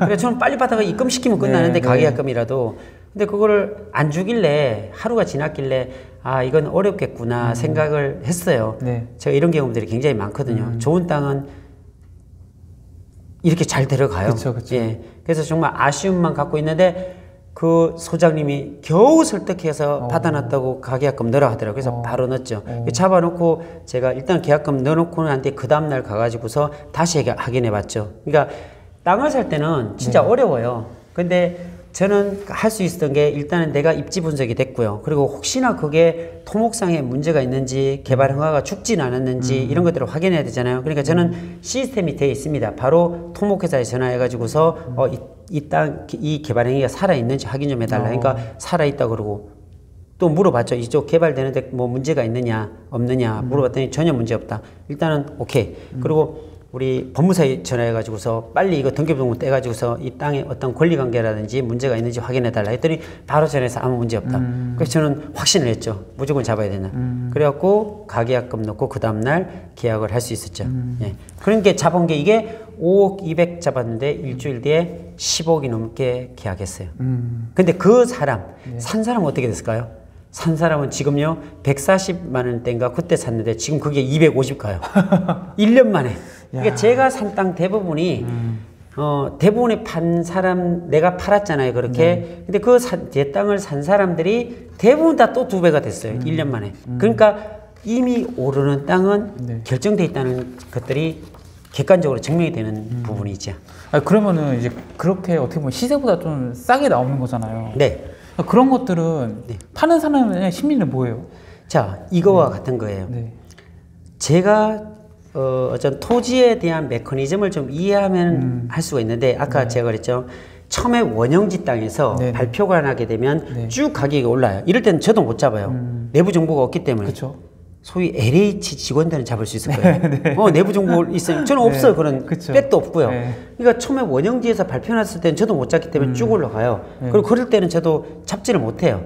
그러니까 쭉 올라갔다가 이게 시간이 경과돼요. 1년, 2년, 3년, 4년, 5년, 6년, 한 10년 가까이 개발이 진짜 되려면 어렵죠. 네. 이렇게 쭉 거쳐가고 쭉 떨어질 때 네. 그때 잡는데 이 떨어지 최저로 올라갔다가 최저로 떨어졌다는 이걸 모르는 거예요, 사람들이. 근데 여기 자세히 보면요. 네. 어떤 증상이 있어요. 증상이요. 증상이 있어요. 네. 그걸 알면 되잖아요. 네. 근데 사람들이 몰라. 네. 저는 알아. 네. 그러니까 그 타이밍만 보는 거예요, 저는. 네. 네. 아직까지 더 익어야 돼. 네. 그 타이밍이 안 왔으라고 저는 판단할 수 있잖아요. 음. 그러니까 누구는 그걸 모르기 때문에 그 맨 바닥을 찍고 요 맨 바닥을 찍고 올라가는 사람이 제일 기회 비용이 많은 좋은 사람이에요. 기회가. 근데 그 앞전에 살 수도 있고 또 살 그 계속 가다가 결국은 이 바닥을 찍고 올라가면서 사람들이 올라갈 때 많이 사잖아요. 그쵸. 저는 최저 아래 거의 대부분 사는 이유가 분명히 그런 증상이 있어요. 그 증상이 올라가는 그 신호죠. 네네. 신호들이 있어요. 그 신호를 어디 가서 확인하면 할 수 있냐면 네. 이미 도시계획이 다 발표가 됐어요. 네. 뭐2035 평택시 도, 시개발 계획이 다 발표가 났듯이 네. 이미 계획은 다 잡혀 있지만 실제로 공사가 들어가서 본격적으로 개발이 돼야지 음. 확 올라가잖아요. 근데 그 잠잠할 때가 있거든요. 네. 그때 보면은 사실은 제가 드론으로 띄워보면요. 거기 벌써 토목공사가 막 진행되어 가고 어. 음. 있는데도 사람들이 잘 몰라요. 그걸 어디 가서 보면 알 수 있냐면 토목회사. 어. 가면요 잘 알려줘요. 어. 벌써 거기는 관급 공사들을 많이 받아요. 그쵸, 그쵸. 리고 거기는 벌써 막 발주가 나가 시에서 발주 나는 거 막 하고 있어. 네. 그런데도 아직까지 물 밑에서 움직이기 때문에 몰라요 그것들이. 음. 사람들이 언제 하냐면 이미 공사가 돼가지고 건축이 이제 막 들어오고 산업단지에 네. 기업들이 들어온다라고 할 때 그때 알면 음. 한참 늦은 거죠. 벌써 막 올라가는 타임이니까. 네네. 그러니까 그런 타이밍만 잘 잡아도 그냥 단기간에 1년 길어야 2년 안에 그냥 다 올라갈 수 있는 거예요. 음, 그러면은 그 땅을 고르는 여섯 가지 핵심 방법을 이제 음. 책에도 적어주셨거든요. 네. 이 여섯 가지 핵심 방법 한번 소개해 주시면 좋을 것 같아요. 네. 제가 아까 그 책을 가까이 보면은 이게 잘 안 보인다 그랬잖아요. 네네네. 길게 보라고 했잖아요. 저는 누가 집안을 갖다가 딱 던져줘요. 그러면 어떻게 보냐면 제가 보는 방식을 말씀드릴게요. 네, 네. 카카오 맵으로 일단은 어디 어디 집안을 지제동 산 몇 번지 네. 하면 딱 봐요. 그래서 딱 봐가지고 아 이게 어디에 붙어 있지? 아 평택시에 붙어 있네. 평택시에 어, 여기 지제동이네. 더 가까이 들어가요. 그래서 전체적인 입지가 어떻게 돼 있는가를 봐요. 어, 전체적인 위치가 어디 있는가를 보는 거죠. 네네. 그리고 난 뒤에 토지 이용계 각인을 갖고서 상세 내역을 다 프린트해요. 네. 해가지고 거기에 지목이 뭔지, 임야인지, 전인지, 답인지, 어, 그런 걸 보고, 그리고 도로에 어느 정도 붙어 있는지 그 그림도 다 나와 있거든요. 토지 이용 계획 네. 확인에. 그리고 거기가 가축 사육, 제한 지역인지, 아니면 뭐 접도 구역에 얼마 정도 붙어 있는 건지 다양한 것들을 토지 이용 계획을 확인을 해보면 그 속에서 다 확인이 돼요. 그래서 일단은 토지 이용 계획 확인을 통해서 어떤 땅인지 거기에 용도 지역이 뭔지 네. 지목이 뭔지 네. 어, 입지가 어떻게 된 거지 그런 것들을 다 확인하고요. 두 번째 가장 중요한 게 사실은 제가 땅을 볼 때는 어, 가격도 중요하고 뭐도 다 중요해요. 근데 입지를 가장 높게 봅니다. 입지 어디에 붙어 있냐에 따라서 가격이 확 달라지는 게 이 땅이거든요. 그러니까 개발이 되는 쪽에 도로에 붙어 있는지 그걸 네, 봐요. 그러니까 토지용 계획을 확실하게 분석을 해야 되고요. 네, 네. 그게 내용이 조금 어려울 수 있어요. 근데 계속 보다 보면 어느 정도 눈에 익으면은 아, 해석은 좀 할 수 있어요. 그리고 난 뒤에 이 땅, 도로에 어느 정도 붙어 있고 개발되는 위- 개발되는 곳에서 몇 미터 정도 떨어져 있고 그리고 내가 살려고 하는 이 땅에서 어떤 개발 계획이 잡혀 있고 이런 것들을 입지라 그러죠. 그걸 봅니다. 그리고 도로가 4m 도는지 6m 도는지 이걸 보고요. 또 하나가 이 건축이 가능해야 되거든요. 도로가 다 붙어 있다고 건축이 되는 건 아닙니다. 어, 네. 어, 거기에 배수로가 있어야 돼요. 어, 도로도 있어야 되지만 물이 빠지는 곳 있죠. 네. 그럼 배수로 작업이 안 돼 있으면 이게 또 건축이 안 돼요. 그러니까 도로를 확인하고 어, 입지를 보고 도로를 확인하고 건축이 되는가를 확인을 해봐야 됩니다. 그런데 내가 살려고 하는 땅에 보니까 어 이거 시세보다 높아 높다 낮다라는 어느 정도 판단을 내야 되잖아요. 네. 근데 이게 되게 어렵거든요. 네. 굉장히 어떻게 보면 주관적이 될 수 있는 거예요.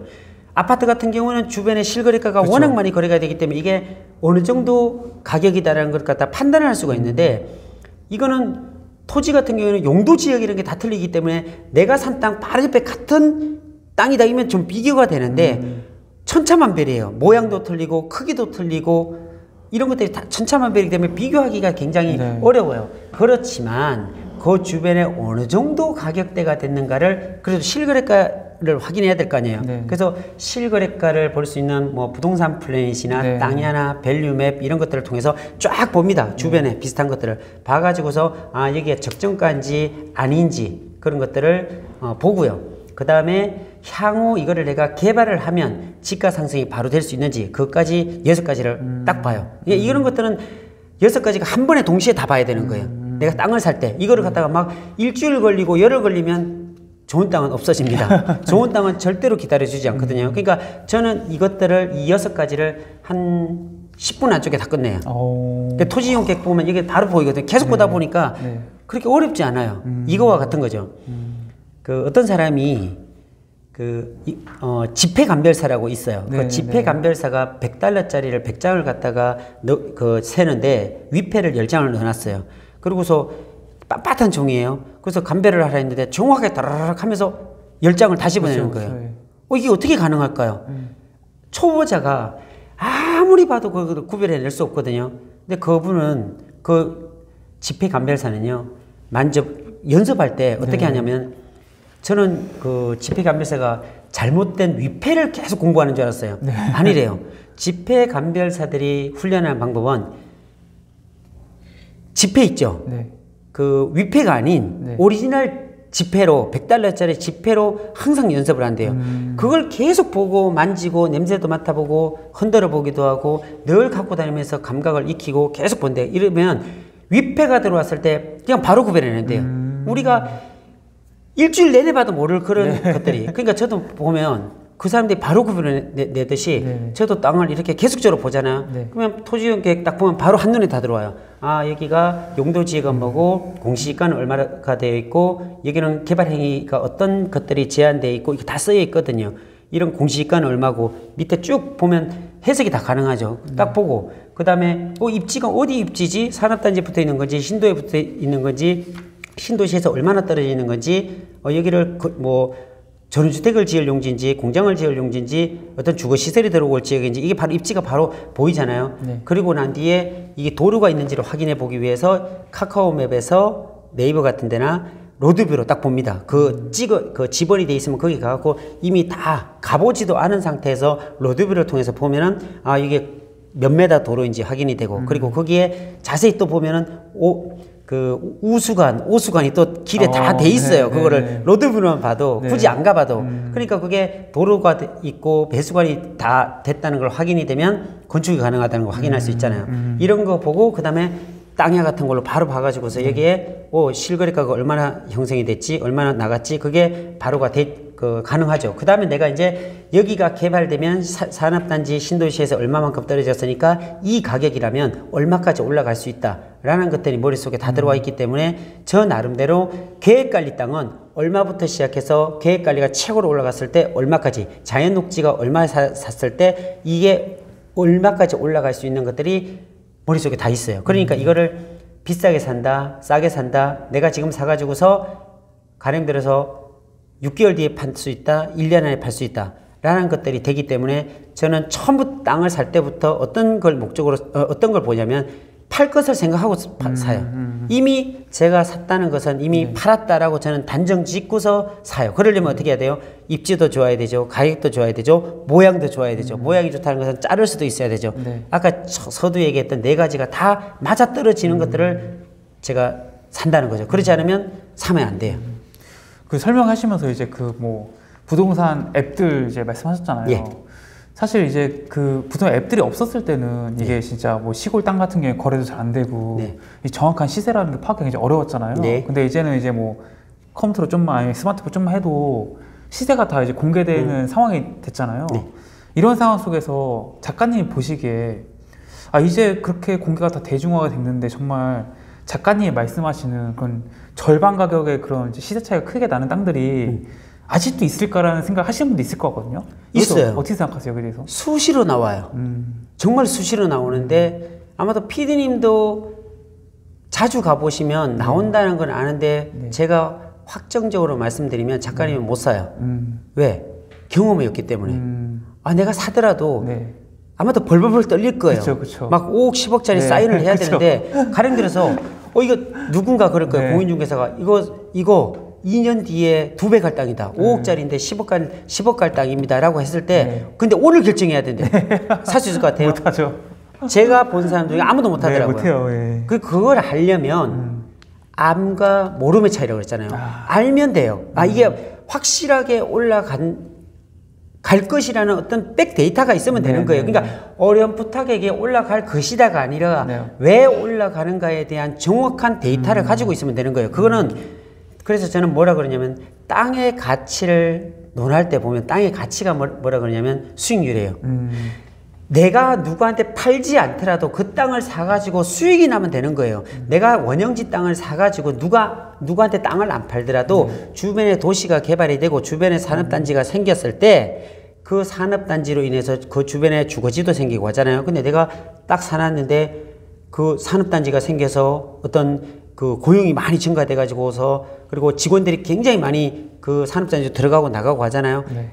그러면 내가 사는 땅에 건물을 짓게 됐을 경우에 그 건물 진 거기에서 수익률이 나올 거 아니에요. 내가 200평짜리 샀는데 4층짜리 건물을 졌는데 여기서 한 달에 천만 원 나온다. 네. Thank you 아니에요. 그렇죠. 그렇죠? 그러면 땅을 얼마에 주고 사느냐? 누구는 100에 주고 평당 100에 사고 누구는 200에 사고 누구는 300에 사고 누구는 400에 살 수 있잖아요. 네네. 다 살 수 있거든요. 네네. 근데 이게 도시가 발전하면 발전할수록 산업단지가 발전하면 발전할수록 어떤 도시의 한 형태가 만들어질수록 땅 가격은 100만 원부터 계속 올라갈 거예요. 음. 그렇죠? 그런 과정 속에서 수익률이란 것은 내가 원형지란 것은 100만 원에 샀을 때가 가장 좋겠죠. 음. 근데 이게 확신이 지금까지 들지 않은 상태에서 나중에 산다고요. 네. 이게 400에 산다고요. 400에. 그렇죠, 그렇죠. 그래도 그분들은 어떤 임대 수익처럼 내가 그냥 5%만 놔도 돼. 음. 나 6%만 내도 좋아. 이런 게임이잖아요. 이게 처음에 원형지 땅 산 사람들은요. 네. 5% 6%가 아니에요. 몇백 프로예요. 몇백 프로. 음, 이런 과정들이 사실은 거친다는 거예요. 음. 그래서 이런 제가 그 토지에 대한 메커니즘을 계속적으로 공부하고 연구하고 분석해 보면 이런 거예요. 한번 잘 들어보세요. 네. 산업단지가 생겨요. 네. 이건 굉장히 논리적인 건데 우리 시청자분들도 땅을 잘 모르겠지만 한번 논리적인 거니까 한번 들어보세요. 네. 산업단지가 생긴다는 것은 확정적으로 발표가 됐어요. 네. 가령 들어서 송산그린시티가 184만 평, 평택 고덕 신도시 안에 있는 삼성반도체가 120만 평, 그리고 용인 SK 하이닉스가 126만 평이 확정됐어요. 그건 이미 공사가 진행 중에 있어요. 네. 네, 세 군데 다. 다. 아예 뭐 취소되고 이럴 건 없어요. 이미 보상도 다 나갔고 공사가 이미 들어간 상태예요. 그러면 대규모 산업단지잖아요. 네. 그럼 산업단지에 누가 들어와요? 회사가 들어올 거 아니에요. 회사가 들어온다는 것은 고용이 증가된다는 거예요. 네. 고용이 증가돼요. 고용이 증가된다는 것은 인구가 증가된다는 얘기예요. 그렇죠. 인구가 증가된다는 것은 그 주변에 주거 시설이 필요하다는 거예요. 네. 주거 시설이 필요하다는 것은 주, 그 주변에 산업단지 주변에 땅이 필요하다는 거예요. 주거 네, 시설이 그렇죠. 지어야 되니까. 그렇죠. 그러면 그 땅이 산업단지 주변의 땅이 control C, control V 할 수 있는 땅이냐고요. 음. 산업단지 주변의 땅은 그거밖에 없다. 그거밖에. 음. 더 이상 만들어낼 수가 없어요. 더 이상 카피해서 만들어낼 수 있는 공산품이 아니기 때문에 누군가는 그 땅을 사잖아요. 음. 내가 평당 100만 원에 사게 되면 네. 그 사람이 100만 원에 절대로 안 판다는 거죠. 아마도 두 배는 받아야 될 거예요. 그럼 200만 원 팔어. 그래도 땅이 없어. 그럼 200만 원 산 사람 뭐 어떻게요? 한 300만 원 주고 팔아야 되잖아요. 300만 원 전까지 절대 안 판다 그랬잖아요. 그러니까 산업단지 주변의 땅은 가면 갈수록 없어지는 거예요. 왜? 거기로 산업단지로 들어가는 고용들, 인력들이 굉장히 많고 그 주변으로 도로가 만들어지잖아요. 산업단지가 생긴다는 것은 주변에 메인 도로가 생기고 sub 도로가 생기고 차든지 사람이든지 유동성이 굉장히 많아지는 거예요. 그러니까 주거시설, 편의시설 굉장히 많이 생기거든요. 그런데 그런 실제적으로 생기는 어떤 사람들이 많아지게 되면 누가 들어오느냐? 실 사용자들이 생겨요. 실 사용자들이 생길 때쯤이면 평당 300, 400 가요. 건축업자들이 투자하진 않잖아요. 그죠? 건축업자들이 투자를 왜 못하냐면 네. 건축업자들이 땅을 사놓고 투자한다는 것은 그거는 건축업자가 아니에요. 투자자지. 네, 그렇죠. 그러니까 건축업자들은 평당 얼마에 사는지 아세요? 보통 300, 400, 500 이렇게 사요. 그러니까 원형지 하는 사람 입장에서 보면 어, 저거 그냥 100만 원 할 때, 80만 원 할 때 사, 사, 그쵸. 사놓지 이러잖아요. 근데 건축업자들의 목적이 투자가 아니라 그 사람들은요, 건축업자들은 내가 건축을 해서 한 동당 1억 남기고 2억 남기는 게임이에요.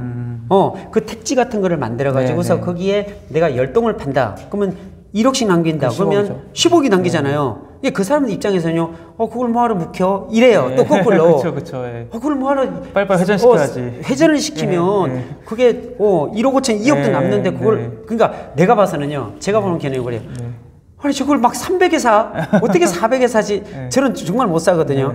저는 200만 원 이상 사본 적이 없어요 평당 아무리 원형지도 거의 제가 제일 좋아하는 게 한 60만 원, 80만 원 아무리 개발지 주변이라도 네. 100만 원좀 쓰면은 한 120, 150 무조건 안쪽 건 넘어가면 저는 잘 안 사요.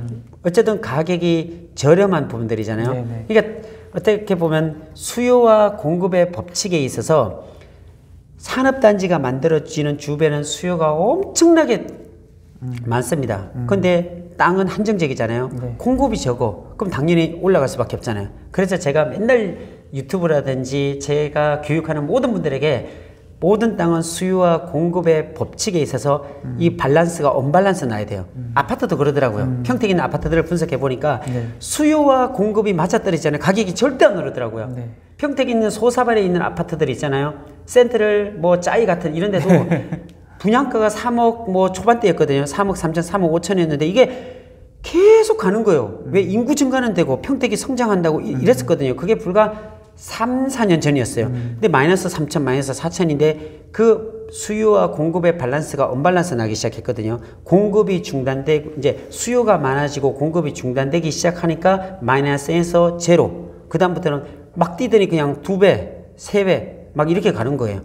제가 살고 있는 고덕 신도시도 저 분양받았거든요. 그때는 수요와 공급의 법칙에서 밸런스가 맞았기 때문에 피가 2천 붙고 이랬거든요. 3억 5천에 분양받아서 제가 2년 만에 지금 8억에 팔고 나왔거든요. 이런 현상이 토지도 마찬가지예요. 수요와 공급의 밸런스가 언밸런스 날 때 이게 가격 상승이 일어나게 되더라고요. 그러니까 산업단지 주변의 땅들은 한정된 공- 저 면적밖에 없잖아요. 그게 뭐 복사해가지고 만들어낼 수 있는 그쵸, 게 그쵸. 아니기 때문에 누군가는 거기를 샀으면은 절대로 자기가 산 가격 이하는 안 판다고요. 내가 300에 샀으면 누가 맞아요. 300에 팔겠어요. 네. 그러니까 가격이 산업단지 주변은 신도시 신도시가 들어오는 외곽 지역 주변은 올라갈 수밖에 없다. 그럴 때 성장하고 발전하기 전에 미리 가서 사놓으면 100곳의 땅을 사면 100곳이 다 오르는 기적을 만들어낼 수가 있습니다.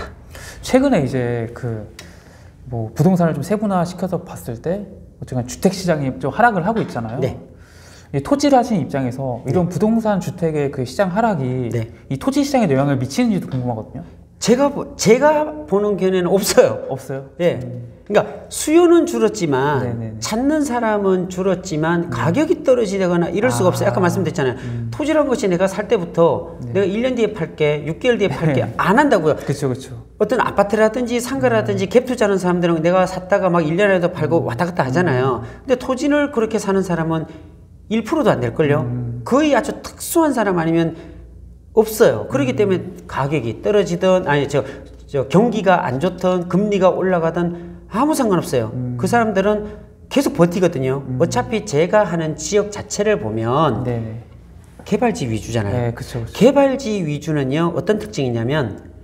경기가 안 좋아도 이미 산업단지로 배정이 받고 산업단지로 이미 개발이 들어가고 공사가 들어간 곳은 금리 올라간다고 해서 중단하진 않더라고요. 네. 금리 올라가도 IMF가 와도 여전히 개발하는 게 특징이더라고요. 음. 그래서 절대로 개발한다는 것은 산업단지가 들어온다잖아요. 네. 그럼 똑같은 얘기예요. 산업단지 들어오게 되면 회사가 들어오는 거고 회사가 들어오면 고용이 증가되고 고용이 증가되면 인구가 증가되고 네. 인구 증가되는 것은 주택이 또 만들어지는 거잖아요. 주택이 필요하다고요. 그 개발지 주변에. 그러니까 IMF가 오든 경기가 둔화가 되든 상관없이 개발지 주변은 실수요자들로 계속 넘쳐납니다. 그러니까 이제 불황에는 이제 뭐 가격에 큰 이상 영향을 주지 못하는데 그럼 호황에는 그래도 관심이 더 높아지니까 가격 많이 오르겠네요, 그래도. 폭발적이죠. 그렇죠. 진짜 폭발적이죠. 음. 아. 그 경기도 화성시 서신면 장애리에 이제 이 땅을 이제 길게 붙어서 좋았다라고 이제 책에 써주셨더라고요. 이건 어떤 땅이었나요, 이거는? 그 서신면에 보면은 네. 그 제구도로 가는 라인이었거든요. 음, 이 네. 2차선에 딱 붙었어요. 네네. 근데 평수가 그렇게 크지 않았어요. 300 몇십 평이었는데 음. 이게 도로 2차선에 이렇게 돼 있는데 이게 몇 미터 붙어 있냐면 88미터가 붙었어요.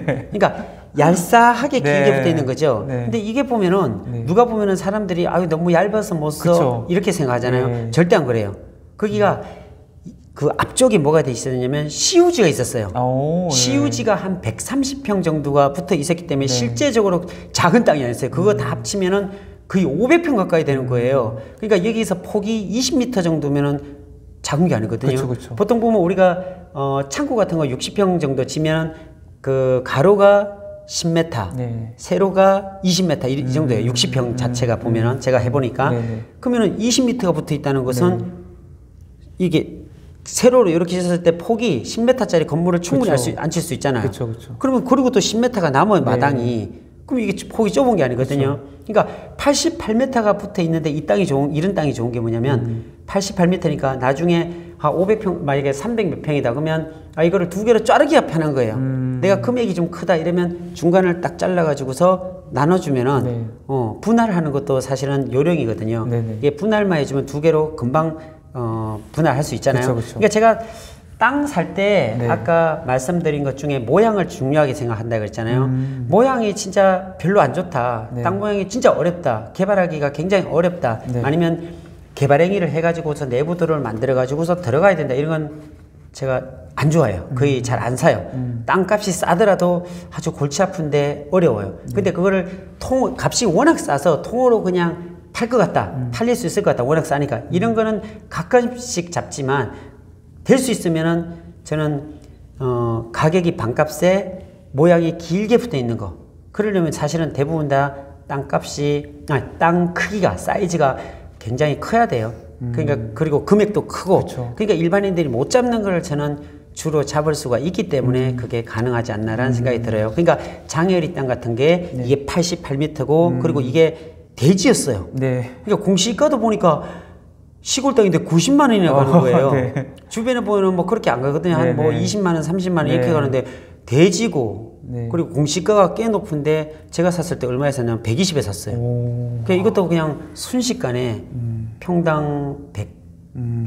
얼마에 샀다? 160인가? 막 가까이 그 155인가 막 이렇게 사서 그것도 내가 1억 얼마 투자해서 순식간에 그냥 바로 이거는 사이즈가 작기 때문에 1억 얼마 딱 남기고 그냥 바로 팔았어요. 어, 야. 이런 근데 이런 게 바로 바로 거래가 되나 봐요. 예. 호재 지역이니까. 음. 그러니까 이슈가 있으니까. 아. 이슈가 없으면 이거와 같아요. 네. 저희 교회 한 분이 네. 어, 경북 봉화라는 곳으로 이사를 가셨어요. 네, 네, 네. 가셔가지고 뭐 했냐면은 이제 귀농귀촌 하신 거죠. 음. 사과 농장을 하셨어요. 네. 사과 과수원이죠. 그러니까 네. 과수원을 하면서 땅을 얼마에 주고 샀냐면 평당 10만에 산 거예요. 굉장히 싸게 산 거예요. 시골에 보면, 보면 임야잖아요. 네. 얼마나 싸겠어요. 네. 근데 10년이 지났어요. 네. 그래서 한 20만 원 올랐겠지 해가지고 네. 10년이 지난 뒤에 20만 원의 과일나무까지 해서 다 파, 내놨어요. 네. 한 명도 안 와요. 아.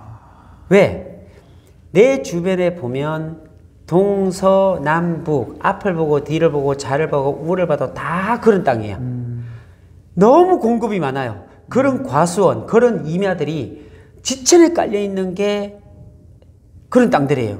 그러니까 나가지는 않겠죠. 그쵸, 그쵸. 근데 분당이나 수지 가보셨어요? 저런주택? 네. 평당 350, 400이거든요.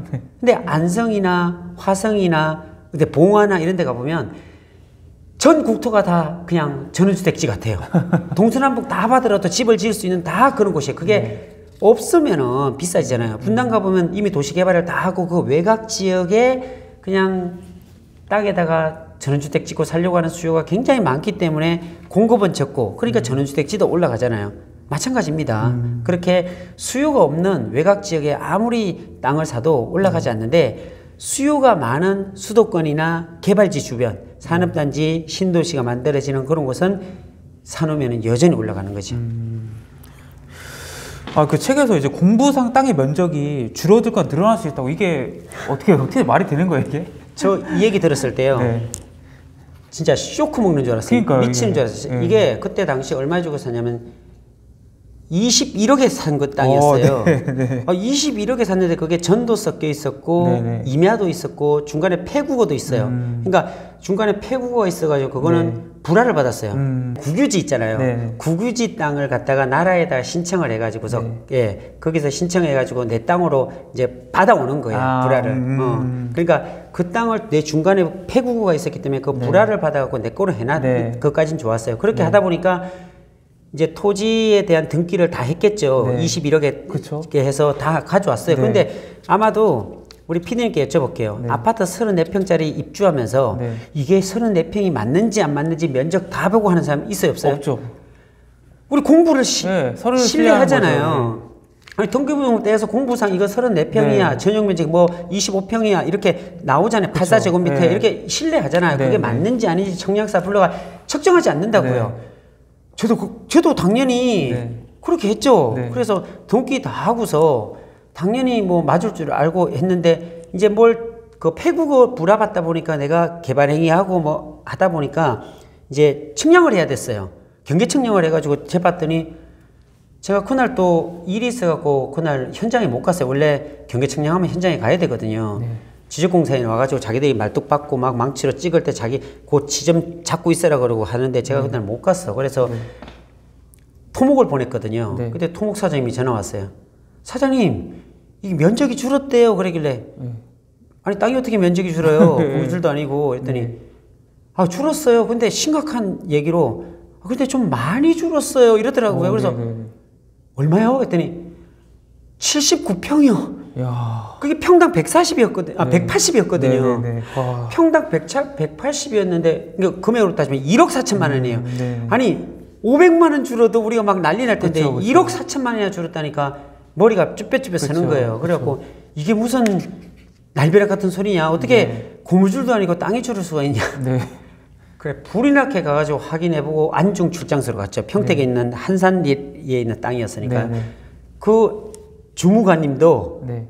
황당해하는 거예요. 자기가 이게 봤을 때 줄기는 준대요. 네. 임야 같은 경우는 왜 주냐면 어, 일반 지적도 같은 경우에는 어, 이미 측량을 다 해가지고서 딱 정해져 있어요. 그거는 안 주, 절대 안 주는데 네, 네. 임야도 같은 경우는 예전에 외정 시대 때 아. 뾰족하게 그 이게 연필을 네. 뾰족하게 가다가 왜 그 이렇게 재 가지고 한다 네, 그러잖아요. 네, 네. 각도기로 재 가지고 막 이렇게 해가지고 네. 이렇게 그린대요. 네. 근데 그게 조금의 오차만 생겨도 그쵸, 나중에 이게 엄청 이게 있죠. 축척도로 막 네. 6천분의 1로 해놨으니까 네. 조금만 틀어져도 그게 나중에는 막 그 뒤에 가면 엄청나게 벌어진대. 그게 재가 된 거예요. 그, 그 음, 땅이 된 거예요. 음. 측량을 해보니. 음. 그러면서 이거는 어쩔 수 없대요. 네. 자기들이 발견한 이상 이거는 수정을 해야 이게 된다. 수정, 네. 수정해 가지고서 등록을 해야 된다, 아. 된다는 거예요. 그걸 갖다가 전문용어로 등록 전환이라고 합니다. 음. 예. 그러니까, 그리고 이게 면적이 줄은 걸 갖다가 수량 부족. 예, 이거 전문 용어예요. 저도 네. 그게 수량 부족이라는 걸 처음 알았고, 네, 네. 그리고 이걸 등록 전환을 하게 되면 보통 우리가 산에 보면, 이거 임야 같으면 산 몇 번지 이렇게 돼 있잖아요. 네, 네. 근데 그거는 측량을 하지 않았던 거고요. 네. 그뒤 임이라든지 토임이라고 붙어 있는 데가 있어요. 임, 이건 이미 측량이 된 거예요. 음. 그게 등록 전환이 됐다고 볼 수가 있거든요. 그래서 그게 줄었다는 걸 제가 처음 알았죠. 어. 그래갖고 소송을 했어요. 누구한테요? 그 지주 지주들한테. 아, 지주한테. 지주들한테 소송을 네. 했는데 네. 지주들한테 전화 처음 했더니 무슨 소리냐 네. 지금 장난하냐 네. 이미 그 등기 다 끝난 지가 네. 지금 6개월이나 지났는데 지금 와서 그런 소리를 하냐고 말도 안 되는 소리라고 막 자기들도 막 음. 그쵸, 그렇게 그쵸. 얘기하더라고 그래서 이거 출장소에 가보시라고 진짜 줄었다고 했더니까요. 그 사람들도 이제 나중에 그러더라고. 우리도 몰랐다. 우리도 조상이 물려준 거 그냥 그대로 받아가고 그대로 넘겨줬는데 억울하지만 어쩔 수 없다. 네. 그러더라고. 그러면서 한 푼도 이게 돌려줄 수 없다. 그래서 우리는 반반 손해 보고 나도 몰랐고 당신도 몰랐으니까 어쨌든 우리는 1억 4천만 원치 줄었으니까 좀 반반씩 부담을 하자라고 해서 좀 협의를 했죠. 네. 근데 끝까지 안 하시더라고요. 그거 어떻게 했어요? 그래 그냥 소송을 했어요. 네. 어, 이길 줄 알았어요. 네. 졌어요. 어, 이- 6개월간에 네. 6개월간에 했는데 졌어요. 그러면서 한 가지 교훈적 교훈을 배웠죠. 네.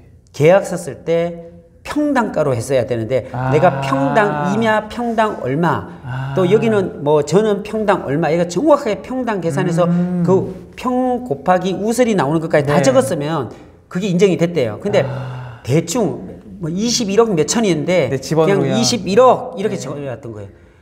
그래갖고 결국은 저희가 재판을 했는데 6개월간에 끌었는데 음. 졌어요. 그래서 판례도 보니까 이길 수가 없더라고요. 그러니까 처음 했을 때 어. 네. 이제 알았죠. 임야를 쓸 때 임야를 계약할 때는 특약상에 네. 어, 평당 얼마라고 써야 되고 그다음에 경계청량을 분명히 하고 네. 남으면은 어, 실측대로 하자. 네. 남거나 네. 줄, 줄거나 실측대로 하라는 그 내용을 꼭 써야 되는 걸 몰랐어요. 그런데 또 하나 에피소드가 네. 화성 땅 하나를 샀는데 그건 또 남았어요.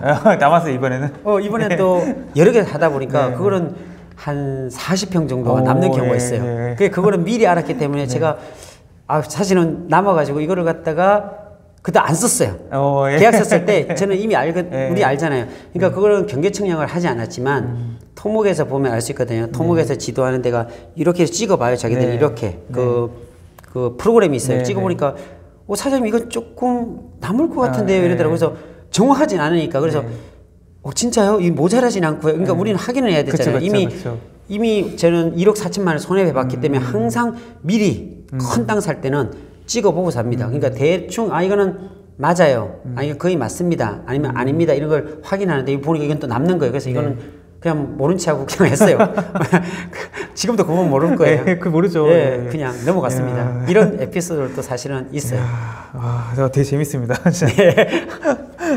아, 그 이제 몇 가지 좀 투자를 더 여쭤볼 거 여쭤볼 건데 이제 맹지는 보통 이제 투자하지 말라고 하잖아요. 네. 근데 맹지도 투자를 하셨더라고요. 안성시 신길이. 네. 맹지 같지만 사실은 맹지는 아니었어요. 그러니까 이제 신기리에 보면 네. 제5 산업단지가 만들어지는 곳이에요. 거기에 보면 산업단지가 이렇게 있는데 네. 거기에 산업단지가 만들어지면서 거기가 21만 평인가요? 중소기업 산업단지라고 되어 있던 곳인데 네, 네. 거기 산업단지 경계선으로 만들어지면서 거기에 산업단지 경계선을 보면은 완충 녹지가 많이 생겨요. 음. 연결 녹지라고 해서 어떤 완충 지대를 두는 거예요. 차가 갑자기 뭐 이탈을 했을 때 음. 네. 그냥 바로 뭘 허가를 내주면 거기에 다 큰 일 날 수도 있잖아요. 그쵸. 사고 났을 때. 그래서 보통 보면 우리 신도시 만들어지거나 하는 외곽 지역에 보면 막 소나무도 심어놓고 음. 철길 옆에 보면 막 나무 같은 거 심어놓는 이유가 음, 철도가 이탈됐을 때 거기 완충을 할 수 있게 음. 아파트 바로 안 해놓잖아요. 외벽도 만들어 놓고 하잖아요. 그래서 음. 항상 보면 완충 지대를 나- 남겨놓는데 여기가 그랬어요. 음. 거기에 산업단지가 만들어지는 그 외곽에 연결 녹지라고 이렇게 만들어 놨더라고요. 그래서 이렇게 돼버리면 그 경계선에 있는 지주들은 다 막히게 되기 때문에 맹지가 되거든요.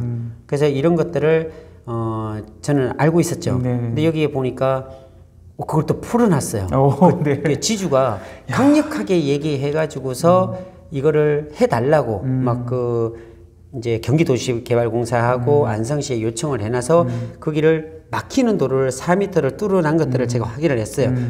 그러면서 그러면서 네. 이미 그 저는 시에 시에 들어가서 확인해 보고 주변에 다 확인해 보니까 이거는 100% 뚫릴 것 같아요. 이거 남들이 보면 맹지예요. 근데 저는 이거 맹지 아니라고 확실했죠. 어. 그래서 이걸 평당가 네. 53만 원에 샀어요. 53만 원. 예. 원래 산업단지 주변은 네. 거의 300까지 가요. 어. 왜냐면 삼- 산업단지가 뭐 2만 평짜리, 3만 평짜리가 아니라 20만 평 정도 되면 굉장히 크잖아요. 그쵸, 그쵸. 거기에 기업들이 다 들어오는 4차선 대로에 붙었어요. 음, 와. 4차선 대로면서 그 4m를 뚫어줬어요. 네네. 그러면 거기가 큰 산업단지가 생기면 다세대나 다가구나 아니면 뭐 이런 편의시설이나 네네. 소매점 다 들어올 수 있잖아요. 그쵸, 그쵸. 인원이 막 산업단지 쏟아져 나오니까 그쵸, 그쵸. 그런 땅을 53만 원이라는 게 말이 안 되잖아요. 그게 올해 네. 1월 달에 샀는데 네. 지난달에 팔았어요. 어, 얼마에 파셨어요? 평당 100만 원에. 야. 근데 이것도 더블이죠. 1년도 1년도 안 된 거잖아요. 그죠? 야. 이런 게 진짜 가능하구나 진짜. 네, 오래 사 오래 팔았어요. 이것도. 그러니까 와. 그 토지에서 이제 보통 책들을 보면은 가장 이제 많이 하는 작업이 성토에서 판다. 네. 그러니까 이제 훅 움푹 들어간 땅들을 네. 판판에 메꿔가지고 뭐 전원주택 부지로 판다. 이게 가장 일- 기본적인 거죠 사실 이게. 기본적인 건데 이것도 해본 사람이 하는 거지 네. 음. 안 해본 사람은 잘 몰라요. 그리고 비용도 굉장히 많이 들어가고요. 어, 제 책에 보면 고잔리 음. 네, 땅이라 그렇죠. 있어요. 네, 그렇죠. 예. 그 고잔리 땅이 사실은 어떻게 보면 전체적인 토지의 맥락을 짚어보면 음.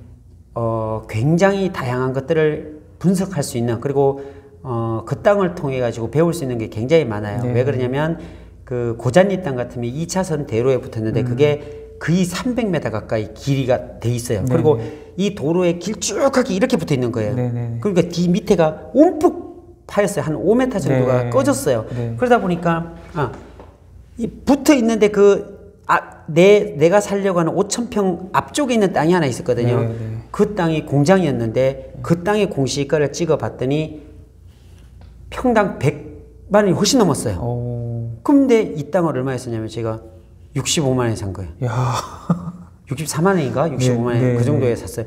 그러면은 공시지가가 시골 땅이 네. 공시지가가 100만 원 넘는다는 것은 실거래가는 200만 원 가까이 된다는 거거든요. 그쵸. 그쵸? 그쵸. 근데 그게 65만 원이면 야. 사야 돼, 안 사야 돼요? 사야 사야죠, 되잖아요. 사야죠. 근데 그게 한 40억 정도 됐거든요. 네. 그게 저는 딱 봤을 때 덩치가 커서 안 나갔었겠구나. 음. 근데 저는 딱 보니까 그 아래쪽에 4차선이 벌써 또 만들어져 오는 그 공사가 들어오고 이런 것들을 봤을 때, 음. 아, 이 도로를 통해서 그 청북적으로 신도시로 빠져나가는 도로가 되겠구나라는 음. 걸 느꼈어요. 그러면서 그땅 움푹 파였지만 그걸 메꿔버리면, 네. 메꿔서 이 도로와 딱 맞춰버리면 네. 굉장히 좋은 활용도가 높은 땅이 되겠구나라는 생각이 들어서 음. 이제 전화해서 해봤더니 성토비만 5억이던데요. 어. 5억이면 뭐 굉장히 그 막 엄청나게 양이 들어가야 되는 거예요. 네, 네.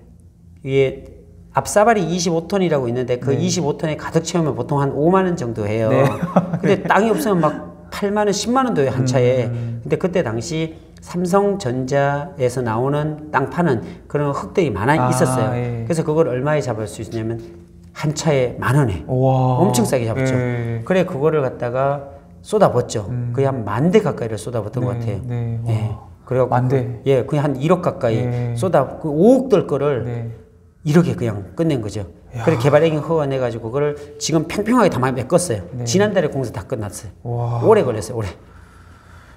그렇게 그렇게 가공해 놓으면 어떨까요? 그 옆땅하고 똑같아지는 거죠. 음, 그렇죠, 그렇죠. 똑같아요. 쑥 남들이 보기엔 쑥 들어가가지고 막 낭떠러지처럼 저렇게 된 그쵸. 땅을 누가 사 저거 어떻게 할까 초보자들이 보면 그렇잖아요. 근데 그거를 똑같이 맞, 맞춰놨더니 너무 아름다운 땅이 된 거죠. 누구나 보더라도 와 이런 땅 그쵸, 그쵸. 갖고 싶다. 2차선 도로에서 바로 들어갈 수 있는 게 300m가 돼 있으니까. 그러니까 그런 300m가 이렇게 길게 300m가 이렇게 돼 있다라고 하자면 이런 거는 팔기가 쉬워요. 어떻게 팔기가 쉽냐? 300m니까 5천 평이라 하더라도 우리가 그 토지를 분할하는 방법 중에 여러 가지가 있는데 매매에 의한 분할도 있고 허가에 의한 분할도 있어요. 그럼 내가 이거를 매매에 의한 분할은 여러 개를 자를 수 있거든요. 내가 이만큼 잘라가고 예를 들어서 한 500평 잘라 줄 수 있고요. 또 500평 잘라 줄 수 있고 500평 이렇게 해서 10개만 자르면은 되잖아요.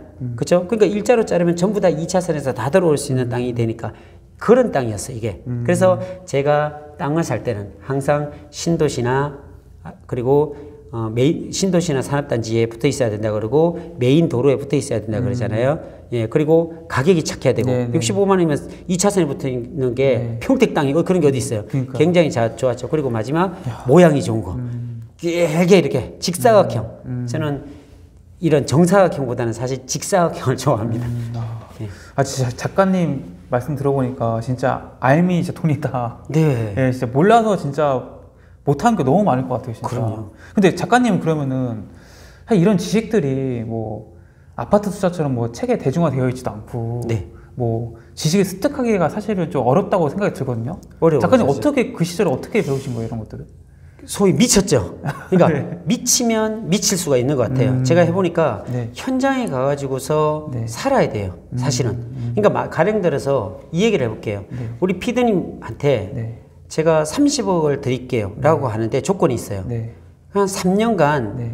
평택 지역에 가가지고서 밥만 먹고 맨날 거기 임장 다녀야 돼요. 네. 거기를. 네. 그러면 할까요, 안 할까요? 하죠. 하죠. 30억인데. 네, 연봉 10억인데. 그죠? 연, 예, 연봉 10억인데 아니 하는 게 우리 회사에 그 로고가 있어요. 가면은 놀면서 일하자. 네, 네. 그리고 베풀며 살자. 이렇게 자딱 파놨거든요. 네, 네, 네. 근데 사람들이 보면 와서 전부 다 와 꿈의 회사다. 어떻게 네. 놀면서 일하지? 이런 얘기를 해요. 근데 저희는 사실 제가 하는 일이 이, 노, 이- 노는 거예요. 음. 그리고 우리 직원들한테도 얘기하는 게 놀아도 현장 가서 놀아라. 음. 사무실에 앉아 있지 말고 임장 가는 게 노는 거예요. 음. 내가 어디 용인이나 화성이나 가서 네.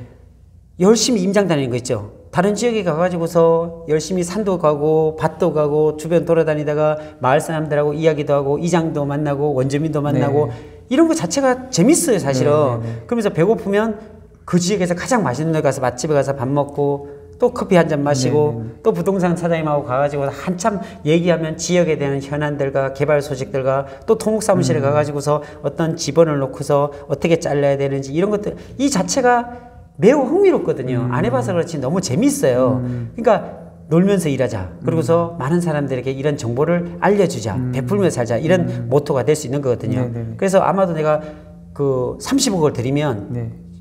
어렵지 않을 거예요. 3년을 그렇게 하잖아요. 네. 저와 같이 됩니다. 어. 일주일에 한 번이 아니라 네. 매일 저같이 3년을 진짜 1년이 365일인데 매일 가보세요. 네. 바보도 눈에 보일 겁니다. 어. 바보도 매일 가보면요. 매일 아마도 제가 어, 서두에 이런 얘기 했잖아요. 집회 감별사들이 네. 계속 그 원본을 보고서 네, 네. 집회 복사본이 아니라 위패가 아니라 진품 진본을 갖고서 계속 연습했을 때 그냥 도로록 하면 그냥 집 위패를 다 골라내듯이 아마도 계속 땅을 보잖아요. 그러면 저보다 더 잘 볼 수 있어요. 그러니까 중요한 것은 많은 사람들이 그렇게 하려고 하지 않기 때문에 모른다는 거예요. 내가 3년에 대한 그러한 노- 어떤 노력을 사람들이 안 한다는 거죠. 힘들기 때문에. 그런데 했을 때 연봉 이렇게 3년 안에 30억이 가져간다고 하면 누구든지 할 거예요. 그쵸. 그렇죠? 그런데 제가 그렇게 30억이 아니라 저는 몇 배, 거기에 몇 배 이상을 3년 만에 그렇게 만들어 갈 수 있더라고요.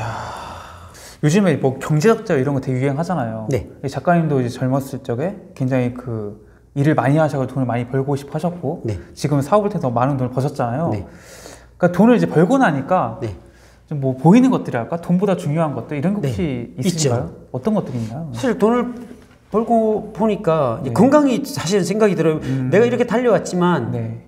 내가 건강하지 못해서 무슨 큰 병에 걸렸다 이러면 얼마나 억울하겠어요. 음. 그쵸, 그래 서 저는 요즘 거의 5시 반에 일어나요. 어. 5시 반에 일어나 가지고서 네. 어, 2시간 동안 러닝하고 오, 새벽 네. 조기 축구에 우리 야. 어, 평택 이충동 네. 그 레포츠 공원에 가서 그 네. 힐조란 팀에서 어. 매일 같이 7시 반까지 오. 5시 반에서 2시간 동안 운동을 하고 네. 그리고 이제 밤에 늦게 와서 집에서 또 고득 신도시를 한 바퀴 또 뛰고 오, 삼성 네. 반도체를 한 바퀴를 뛰거든요. 오, 네네. 그 걸으면 2시간 거리예요. 근데 네. 뛰면은 한 50분 걸리더라고요. 오, 네네. 120만 평을 한 바퀴 돌고 아, 이런 자기 관리를 하면서 일단은 운동을 하고요. 음. 그 다음에 어, 사람을 돌아보게 되더라고요. 음. 그리고 내가 도와줘야 될 대상이 누굴까? 음. 아, 내 역량으로 내가 가지고 있는 어떤 달란트로 네. 사람들을 어떻게 하면 도울 수 있을까? 음. 청년들을 어떻게 세울 수 있을까? 사실 이런 생각들을 많이 해요. 내가 내가 있지도 않은 재능을 가지고 사기는 어려워요. 음. 네네. 음. 근데 내가 가지고 있는 이 재능으로 아, 그 사람을 도울 수 있다면 그 사람을 성공시킬 수 있다면 음. 그 사람을 이렇게 세워가지고 사회에 정말 가치 있는 사람으로 만들 수 있는 어떤 원동력이 될 수 있다면 네. 내가 거기에 쓰여지고 싶다 이런 음. 생각을 많이 하게 됩니다. 그 토지뿐만 아니라 아파트도 분양을 하셨더라고요. 네. 하루만에 200채? 네. 200채 다 파신 건가요? 하루에? 하루에 다 나갔어요. 어, 어떻게 된 거예요, 이거는? 아, 이건 진짜 재미난 네. 얘기인데요. 네. 제 얘기가 거의 대부분 재밌죠. 네, 되게 재밌습니다. 그러니까 이것도 들어보면요. 네. 우리가 그 평택 고덕 신도시 중상이라고 하면 중심 상업 지역이거든요. 음. 제일 위치가 좋은 아파트가 있었어요. 네네네. 그 바로 옆에 제가 분양받았던 LG 자이언앤자이였어요. 어, 저는 이미 네. 팔고 나왔지만 네네네. 그보다 더 좋은 입지의 조건을 가지고 있는 중심 상업지 아파트에 뭐가 들어있냐면 10년 공공 임대 아파트가 들어왔어요. 어. 그 10년 공공 임대 아파트는 그게 좀 보통 10년 공공 임대 아파트는 작아요 평수가 음. 뭐 20평짜리, 24평짜리 이건 34평짜리예요. 네네. 그럼 살만한 곳이잖아요. 84제곱미터니까 그렇죠. 그런 아파트가 분양이 됐는데 미분양이 된 거예요. 오, 네. 그러니까 그러면 10년 공공 입 아파트에 누가 입주할 수 있냐면 무주택자 네. 수입이 3,700만 원 이하, 네, 네. 차도 2,500cc 이하. 네. 그리고 뭐 별의별 조건들이 다 달렸어요. 그러다 보니까 그래도 그래도 그렇지 고독 신도시인데 네, 네. 보통 그 옆에 붙어 있는 데가 제가 자, 자이 같으면 160대 1, 뭐 파라곤 같으면 350대 1 네. 이랬던 곳인데 네. 임대 아파트인데 이게 미분양된 거예요. 네. 지- 그러다 보니까 이제 네.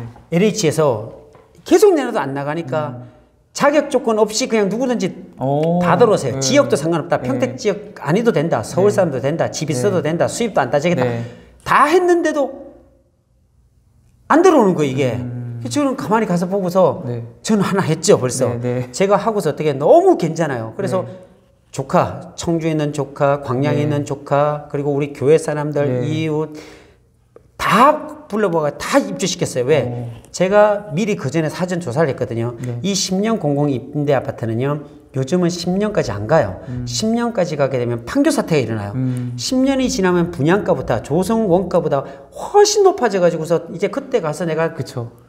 분양을 받으려니까 네. 너무 가격이 올라가니까 아니 당첨은 해놓고서 음. 서민한테 막 뭐 7억대 8억대 분양 네. 가져가라 누가 가져가겠어요 그쵸, 그쵸. 그래서 판교 사태가 일어났잖아요 그거를 방지하고자 요즘은 5년으로 바뀌었어요 오. 지금 5년으로 세종이나 수원이나 다 네. 5년에 하고 있고 이 아파트도 이제 2년 남았어요 음. 이 신동 아파트 10년 공공임대 아파트가 이제 2년 뒤에 분양이 한다고 지금 막 협의 중에 있더라고요 네. 감정평가하고 막 이러고 네, 있어요 지금 네. 이것도 5년이에요 바뀌었어요 네. 어. 그런데 이거를 사전에 저는 알고 있었죠. 어, 5년이면은 굉장히 조성원가가 낮기 때문에 이 아파트가 제가 알기로는 2억 6천 500만 원의 조성원가 있거든요. 어, 네네. 굉장히 싸잖아요. 신도시 치고. 그러면 그쵸. 그렇게 많이 못 올려요. 근데 그 샘플이 어디 있으냐면 그 아주 가까운 수원 광교에 보면은 그 광교역이 있어요. 그 옆에 보면 60단지라고 임대 아파트가 있어요. 네네. 아마도 이 방송 보시는 분들은 그 60단지 뭐 62단지 그 그런 수자인 아파트 한양 수자인 아파트 그쪽이 다 임대 아파트인데 네. 그게 6년 만에 임 전환이 됐어요. 오. 근데 얼마에 전환됐냐면 네. 34평 아파트가 그 광교역 보면 거기에 힐스테이트 짜인이라는 아파트가 있을 거예요. 그게 14억 하고 그랬었어요. 음. 네. 한 2년 전에 네, 네. 제가 봤을 때막 네. 한참 올라갔을 때 14억, 15억 이렇게 네. 갔는데 그때 이 아파트를 얼마에 분양해 주냐면 34평이 6억 7천인가 이렇게 했어요. 야, 반값이다. 반값이잖아요. 네. 같은 위치야. 아니 그냥 한 100m도 안 떨어진 네. 그냥 같이 우뚝 서 있는 서 있는 데가 반값이잖아요. 네. 반도 안 되는 거잖아요. 그걸 확인하는 순간 신도시는 무조건 된다라고 하는데 여기가 안 나가고 있는 거예요. 야. 그래서 저는 이건 무조건 잡아야 되거든요. 네, 네, 네. 신도시 있는 지금 고덕 신도시가 얼마냐면 8억 9억이거든요. 그 제가 3억 5천에 분양받아서 8억에 2년도 안 돼서 비과세로 팍 팔고 나왔다 그랬잖아요. 네. 그리고서 그 옆으로 저는 이사를 온 거예요 또. 그래서 저는 한 2년 뒤면 또 제 아파트가 된 거잖아요. 네, 네. 근데 이걸 갖다가 많은 사람들이 알려줬는데도 사람들이 모르는 거예요. 그쵸. 그러니까 이게 왜 분양, 뭐- 미분양됐는가를 가만히 내가 LH 가봤더니 하루에 한 명 오는 거야 LH에 이거 그것도 계약도 안 해. 그거 가면 미분양된 게 쫙 리스트가 네. 동메타 다 붙어 있더라. 그래서 네. 사진 다 찍어가지고 네. 아 이거를 더 이상 안 되겠다. 그냥 유튜브로 알려야 되겠다. 네. 해가지고 제가 막 그때 유튜브가 엄청 막 조회수도 잘 나오고 구독자들이 네. 한창 올라갈 시기였었어요. 네, 네. 그때 다 작성을 해가지고서 수원 광교 사례까지 다 넣어가지고 와. 아주 디테일하게 비교 분석해가지고 네. 딱 올렸거든요. 네. 그 다음은 어떻게 됐을까요? 제가 아침에 글쎄요. 가봤거든요. 네. LH가 9시에 문 여는데 네. 아침에 가봤는데 그 영상을 보고서 LH 문 저부터 줄이 다 서 있었어요. 문 딱 열자마자 그냥 하루 만에 완판이 200 몇십 채가 동나버렸어요. 야, 그거 보고서 제 유튜브 보고서 가끔씩 그 전화 와요. 아, 선생님 때문에 제가 거기 들어간 저라고 막 이러면서 전화 오는데 정말 저는 뿌듯해요. 아, 내가 잘 알렸구나. 그러니까 그 LH 직원이 얘기를 하더라고요. 네. 아니 어떻게 이렇게 왔냐고 하니까 뭐 거기 이제 계약하러 오신 분들이 네. 아 오픈마인드가 누구시길래 유튜브인데 그분이 막 이렇게 이렇게 이렇게 이렇게 해서 왔다고 그러니까 LH 직원은 아니, 오픈마인드가 누구야? 그쵸, 그쵸. 오픈마인드 누구지? 막 네. 이제 이러더라고요. 네. 제가 저녁 때 가서 안녕하세요. 네. 제가 오픈마인드입니다. 이랬더니 난리가 난 거예요. 막. 어. 아, 뭐 그렇다고 수, 뭐 수수료를 저한테 주고 그러진 않더라고요. 그렇죠, 그렇죠. 다음 광고가 올 수 있을 것 같습니다. 네. 광고가 들어오지 않을까. 어, 그 전원주택도 이제 해, 하셨더라고요. 이건 직접 지어서 하신 건가요? 아니요, 이거는 이것도 참 에피소드인데 네, 네. 이거는 제가 부동산을 이제 하기 전에 네네네. 그 저는 주택이 있었는데 네. 그 아- 안성에 보면 칠곡 저수지라고 굉장히 유명한 저수지가 저수지가 있어요. 음. 네. 거기 보면 멜멜이란 카페도 있고 정진원 카페라도 있고 뭐 물고기창에서 호수가 굉장히 아름답게 보이는 그 뒤쪽에 어떤 전원주택을 분양을 하는데 네. 거기에 평당 170만 원, 150만 원 하는데 막 나가더라고요. 음. 근데 그 옆에 보니까 거기에 딱 붙어 있는 옆에 한 8천 평 정도 되는 네. 그런 부지에 오, 이 땅을 갖다가 120만 원에 자기가 분양을 한다고 이 땅을 지금 매입 중에 있다 음. 하더라고요. 그러면서 본인이 얘기를 쭉 해주는 거예요. 그래서 네. 옆에 보니까 어, 여긴 150, 170인데 120에 분양하면 괜찮잖아요. 네, 괜찮죠, 예. 경쟁력이 있잖아요. 네, 그쵸. 그래갖고 어 그럼 이거 땡 땅을 언제 가져올 수 있냐 했더니 네. 뭐, 자기가 본인이 벌써 계약도 했고 중도금도 했으니까 한 달 뒤면 다 가져올 수 있대요. 음. 그러면 저 그래서 어 이걸 분양을 한다고 하는데 저- 저 소개를 해준 사람이 있어서 네. 그럼 제가 이 분양하겠다니까 하대요. 어. 그런데 어 그냥 이 사람도 하고 저 사람도 분양하니까 당신도 그냥 그 중에 하라라고 네. 하길래 아닙니다. 제가 보험을 했기 때문에 네. 지금 보험하는 실력이면 이거 충분히 제가 다 혼자 할 수 있다고 수수료도 꽤 많이 준다 하더라고요. 그때 음. 어. 분양 수수료를 네, 네, 네. 그래갖고 제 자신 있었거든요. 네. 그래갖고 막 머릿속에는 리스트 보험할 때처럼 막 리스트가 쌓였어요. 누구 누구 누구 누구 하니까 60명이 이미 더 됐어요. 한 100명의 리스트를 다 짜놨어요. 네. 그리고 가서 그 사람들은 저를 신뢰를 했죠. 네, 그리고 제가 어떻게 살고 어떤 일을 했고 네. 이런 걸 아니까 지인들 위주니까 그래서 거기 가서 보여주니까 옆에는 150, 170 하는데 똑같은 위- 입지 조건이니까 근데 이게 120 한다니까 사람들이 이렇게만 만들어주면 자기는 하겠다라고 한 거예요. 그래서 가계약금을 500만 원씩을 다 받았어요. 네. 60명을 다. 야. 그게 미친 짓이죠. 완전히 저도 저도 열정을 다했어요. 막 완전히 소위 그 분양 하나 하기 되게 힘들거든요. 그쵸, 엄청 힘들죠. 뭐 한 달 가도 하나 두도 못해 그쵸, 못한다더라고. 근데 진짜 반 미친 듯이 했어요. 정말로 확신을 가지고 다 보여주고 열정적으로 막 제가 두 달 안에 다 끝낸다 그랬거든요. 근데 그 주인이 그러더라고요. 땅 주인이. 야 이거 내가 시행이라든지 아니면 또 분양사 같은 거 이런 걸 해봤는데 분양사 전문 데리고 와도 이거 두 달 만에 못 끝냅니다. 보통 6개월 지나야지 떠문 팔리지. 그래서 제가 자신 있거 제가 두 달 동안 못하면 그때 다 주라. 다른 사람한테 다 퍼뜨리라. 두 달간만 저한테 다 맡겨주라. 그러니까 저는 끝낸다 라고 하면서 제 이력들이나 막 보험 계약했던 거 다 보여주고 했더니 오, 네. 저한테 단독으로 주더라고. 야. 그때 해가지고 거의 두 달도 안 갔어요. 한 달 좀 넘은 만에 60명을 다 채웠어요. 그리고 돈까지 다 받았어요. 그 분양사 있죠. 어, 그땅 주인한테 보내지는 않았어요. 왜? 땅이 아직 잔금이 안 돼서. 그쵸, 그 돈을 저한테 일단 제 통장으로 다 받아놓고 60명을 다 대기시켜 놨어요. 네. 땅만 가져오면 되는 거잖아요. 땅을 못 가져오는 거예요. 왜, 왜? 돈이 없는 거, 이 사람이. 아. 8천 평이나 되니까 네. 그게 굉장히 많이 돈 들어가는데 네. 그러면서 제 500만 원씩 받았던 그 돈을 빨리 자기한테 써오라고 하는데 어. 이거 줬는데 그 사기 땅을 못 가져오면 그 책임을 60명이 제가 져야 그쵸, 되잖아요. 어, 못 한다고. 네. 그래서 기다려 보겠다 했더니 한 달이 지나도 두 달이 지나도 못 가져오더라고요. 그래서 이거는 하면은 큰일 나겠다 네. 해서 받았던 500만 원씩 다 되돌려 줬어요. 어. 아, 그거 됐으면 전몇억 받았는데 그 60채 분양 받으면 한 몇 억 받았는데 조금 아쉽지만 음. 네. 이걸로 인해서 고객들에게 어떤 신뢰가 깨지고 그러면 저는 그쵸. 더 크게. 그렇죠 아예 네. 못하죠 그래서 그냥 가감하게 저는 두 달간의 노력 진짜 힘들었지만 깔끔하게 끝냈습니다 이 좋은 땅을 소개받는 데 있어서 현지인들이 중요하다. 네. 현지인들의 관계를 구축을 위해서 노력하시는 게 있나요? 네 저는 네. 그거는 아주 핵심 키포인트라고 생각돼요 음. 왜냐하면 현지인만큼 많이 아는 사람이 없거든요. 네네. 그래서 현지인들한테 가면요. 네. 저도 사실은 제 고덕 신도시 옆에 보면 농장을 운영하고 있는데 거기에도 보면 제가 굴러온 돌이잖아요. 네, 그쵸. 예, 그 굴러온 돌이 박힌 돌 행사하면 안 되거든요. 네. 정말로 오면은 그분들 제가 군뱅이 엑기스 만들어갖고 한 박스 주고 네. 막 대추 열리만 막 갖다 주고 네. 그리고 그 마을에서 뭐 한다 그러면 제가 막 10만 원씩 스폰하고 오. 소주 한 박스씩 갖다 드리고 네, 네. 막 수박 드리고 네. 오면 음료수 막 드리고 네. 그렇게 하는 이유가 네. 이게 기농기촌하면 사람들이 대부분의 사람들이 이게 자기 울타리를 만들더라고요. 그쵸. 외부인들 못 들어오게 막 그쵸. 개도 키우고 막 네. 울타리를 만드는 순간 그 동네 사람한테는요 담을 만드는 거예요. 음. 당신하고 나온 경계선이 있다. 침범하지 마라 이거잖아요. 음. 저희 농장 보면 대문이 없어요. 그냥 누구나 다 들어오게 해놨어요. 오. 이게 그 말은 누구든지 들어오게끔 무너뜨려야 되는데 자꾸 담을 쌓는다는 거죠. 음. 그리고 외부하고 연결을 안 하려고 하다 보니까 네. 외부 그 외지인하고 현지인하고 부딪힐 수밖에 없거든요. 네. 그러니까 자기가 잘하면 절대로 그러진 않아요. 음. 제가 진짜 그렇게 열심히 하니까 이장님을 비롯해서 비롯해서 할아버지 할머니들도 저희 마을에 저희 군뱅이 마을에 오는 걸 너무 좋아하고 음. 저를 너무 이뻐해 주세요. 그러니까 구전 일 있으면 제가 가서 막 도와주고 막그뭐 고추 따는 데 가면 또 제가 도와주고 송산 같은 데 가면 막 송산 네. 포도 있잖아요. 네. 가서 막 따주는 척 하면서 어. 막 바카스 하나 드리고 네. 또 거기 보면 송산 포도 따 가지고 왜 그 도로가에서 팔잖아요. 네. 아 아버님 이거 제가 다 사드릴게요. 몇 박스 사면요.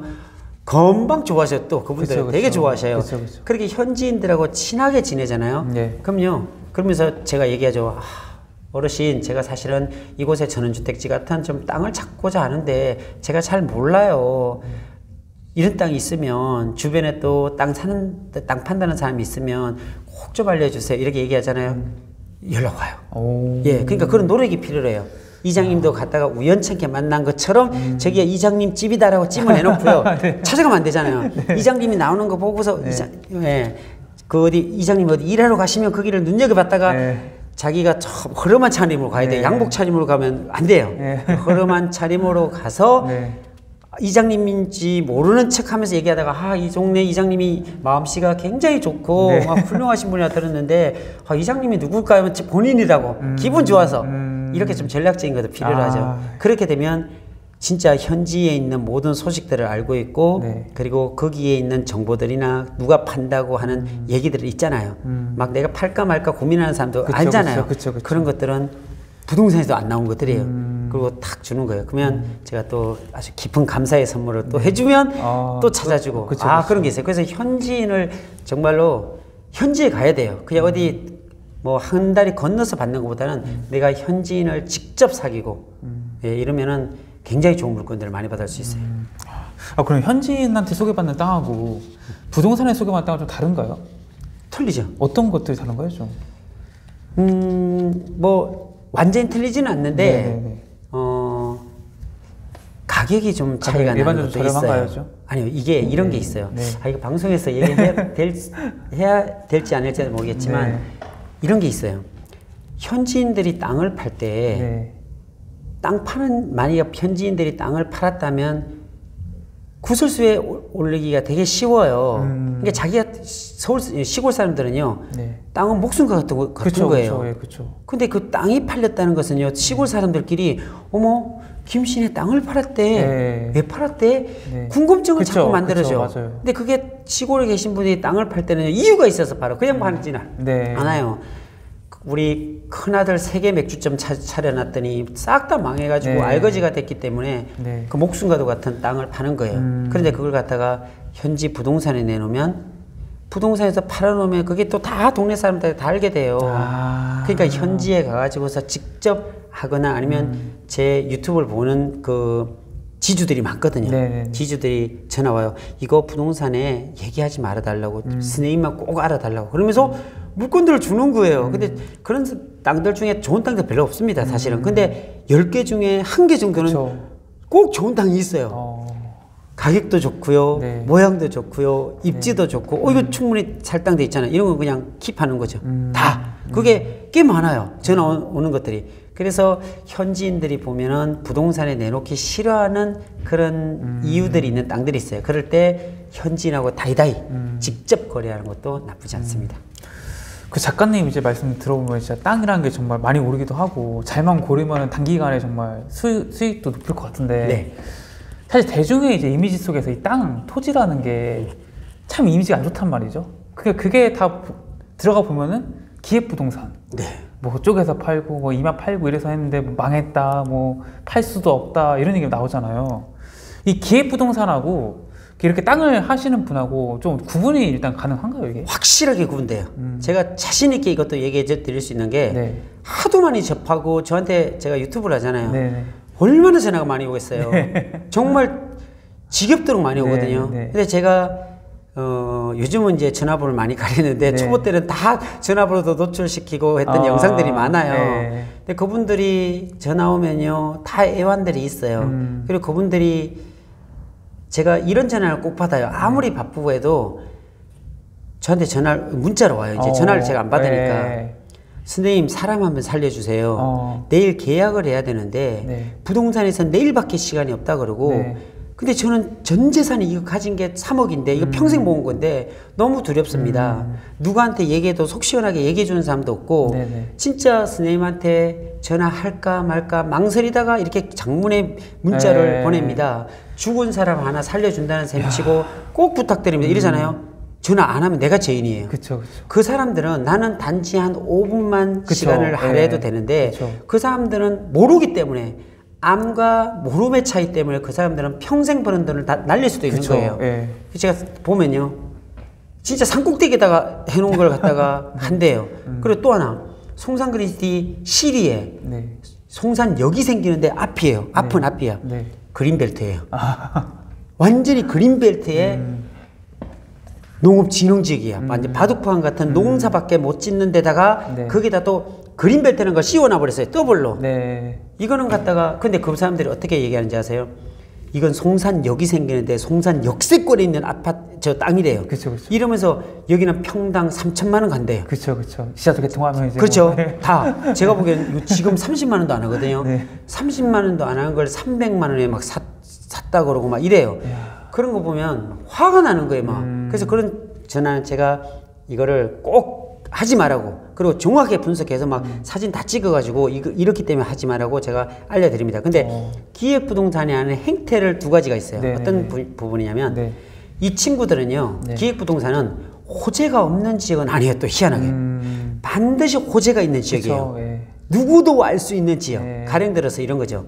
송상 그린시티 네. 이런 데만 해요. 네. 평택 고덕 네. 이런 데. 네. 그리고 뭐 안성, 서울 세종강 고속도로 요까진 좋아. 음. 다 호재가 있으니까 이까지는 맞아요. 네, 네. 근데 거기 들어가서 지점을 찾아야 되는데 지점에다 산꼭대기다 하는 거예요. 절대 농지에다 하는 거예요. 음. 그러니까 초보자들은요 절대농지 가보면 신도시에 경계선에 잘 붙어 있어요. 그런데 신도시에 가보면요 제 땅, 산 옆에 땅이 40몇 명 들어가 있어요. 근데 거기에 저는 얼마 주고 샀냐면 평당 37만 원 샀거든요. 네. 제 땅을. 네. 근데 거기를 380만 원씩 주고 샀어요. 아, 10배를 가열 지금. 네. 이 말이 안 되는 거잖아요. 그러니까 기획부동산의 특징이 호재가 있는 지역은 잘 선택해. 왜 그렇게 하냐면 이유도 있어요. 사람들이 물어봐요. 평택, 평택 고덕 신도시 이러면 다 알잖아요. 다 알죠. 교수도 나와서 막 얘기해. 네, 그쵸. 그러니까 부동산 얘기해도 맞아. 네, 검색도 되고. 검색도 네. 되고 네이버 검색해보라 네. 다 된대. 네.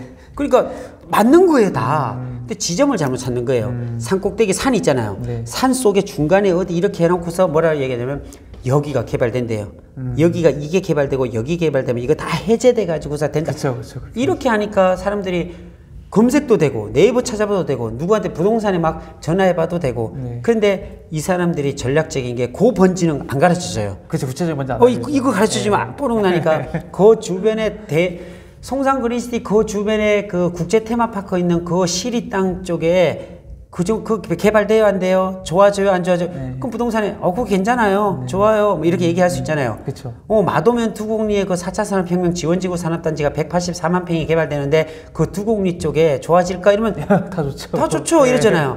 그래놓고서 어떻게 해요? 두곡리까지 좋은데 저 산에 막 아주 산 중턱에 길도 없는 곳을 평당 10만 원에 사가지고 평당 300만 원에 파는 거예요. 음. 이게 딱 정해 이게 기획부동산들의 어떤 레파토리는 정해져 있고 모양은 딱 정해져 있어요. 근데 일반인들이 어려우니까 그걸 구별해내지 못하는 거예요. 음. 그 호재에 대한 것만 얘기만 듣고 사버리는 거죠. 이런 안타까운 일들이 있습니다. 네, 끝으로 이제 구독자분들에게 좀 해주고 싶은 말 하면 좋을 것 같습니다. 우리 구독자분들께 좀 말씀드리고 싶은 것은요. 땅은 어렵습니다. 인정합니다.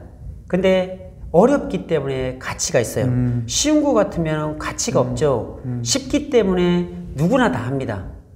아파트 같은 것, 상가 같은 것 이런 것들은 이미 정보가 다 오픈돼 있고 네. 뭐 어떤 경기의 흐름에 따라 등락이 왔다 갔다 할 뿐이잖아요. 네네. 굉장히 어려운 고수의 어떤 기술이라고 영역으로 얘기할 수는 없어요. 음. 그렇기 때문에 수익도 그렇게 높고 낮고 이러진 않는다고 그냥 평준화 경기 따라 그냥 수익을 받아가는 음. 그쵸. 정도에 네. 음. 근데 땅은 안 그렇습니다. 땅은 정말로 전문적인 부분이긴 하지만 허물어뜨릴 수 있는 그 전문적인 부분들을 음. 공부를 통해서 우리 구독자분들께서 공부를 해보지 않았기 때문에 알지 못하기 때문에 어렵다고 생각하잖아요. 그런데 실제로 해보시면 아마도 우리 50대, 60대 은퇴를 앞두신 분들이 아마도 이 땅 공부를 해보신다면 내가 일부러 땅을 공부해야겠다, 학원 가서 공부해야겠다, 이런 생각 가지면 어려울 수 있어요. 그런데 주말마다 우리 아내와 우리 남편과 손잡고서 그냥 임장활동 소풍을 간다, 이렇게 생각하시고 매주 한번 다녀보시면 매주 다니면서 부동산도 들어가고 카페도 가시고 맛있는 것도 먹고 이러다 보면 지식이 부동산에 관련된 땅에 관련된 토지에 대한 모든 정보들을 습득함으로 인해서 굉장히 수준 있게 될 거예요. 본인 스스로도 깜짝 놀랄 만한 전문가적인 수준이 한 2년 정도만 지나도요 보일 겁니다. 그렇게 되면 지금까지 살아온 날보다 앞으로 사실 더 살아갈 일들이 더 많습니다. 우리가 사회생활을 하고서 50이라 가정한다면 30년 정도 우리가 사회생활을 했는데 그런데 앞으로 우리가 50이면 50년을 더 살아야 돼요. 그 살아갈 어떤 여유 자금이나 연금 같은 이런 부분들을 준비해 놓지 않았다면 아니면 부족하다면 이런 땅 투자를 통해서 내가 여유 자금들을 만들어 갈 수 있는 절호의 기회가 가치 있는 방법이 바로 토지 투자가 아닐까라는 생각이 듭니다. 이 토지는 집과 비슷하게 연금도 나옵니다. 내가 농지연금으로 땅을 샀는데 내 토지를 담보로 해서 매년 연금처럼 받을 수 있는 부분이 있어요. 그리고 그 땅을 사는 곳에서 소작물을 내가 거둘 수도 있어요. 그러니까 수입도 발생이 되고 연금도 되고 근데 거기가 주- 개발지 주변에 있는 농지 같으면 계속 상승하잖아요. 네. 지가가 상승하면 나중에 그냥 내가 받았던 연금 되돌려주고 그냥 시세 차익으로 엄청 누릴 수도 있어요. 그러니까 농지 투자가 은퇴를 앞둔 어떤 우리 구독자분들이나 이런 분들한테는 더없이 좋은 기회가 되지 않을까라는 생각을 해봅니다. 네.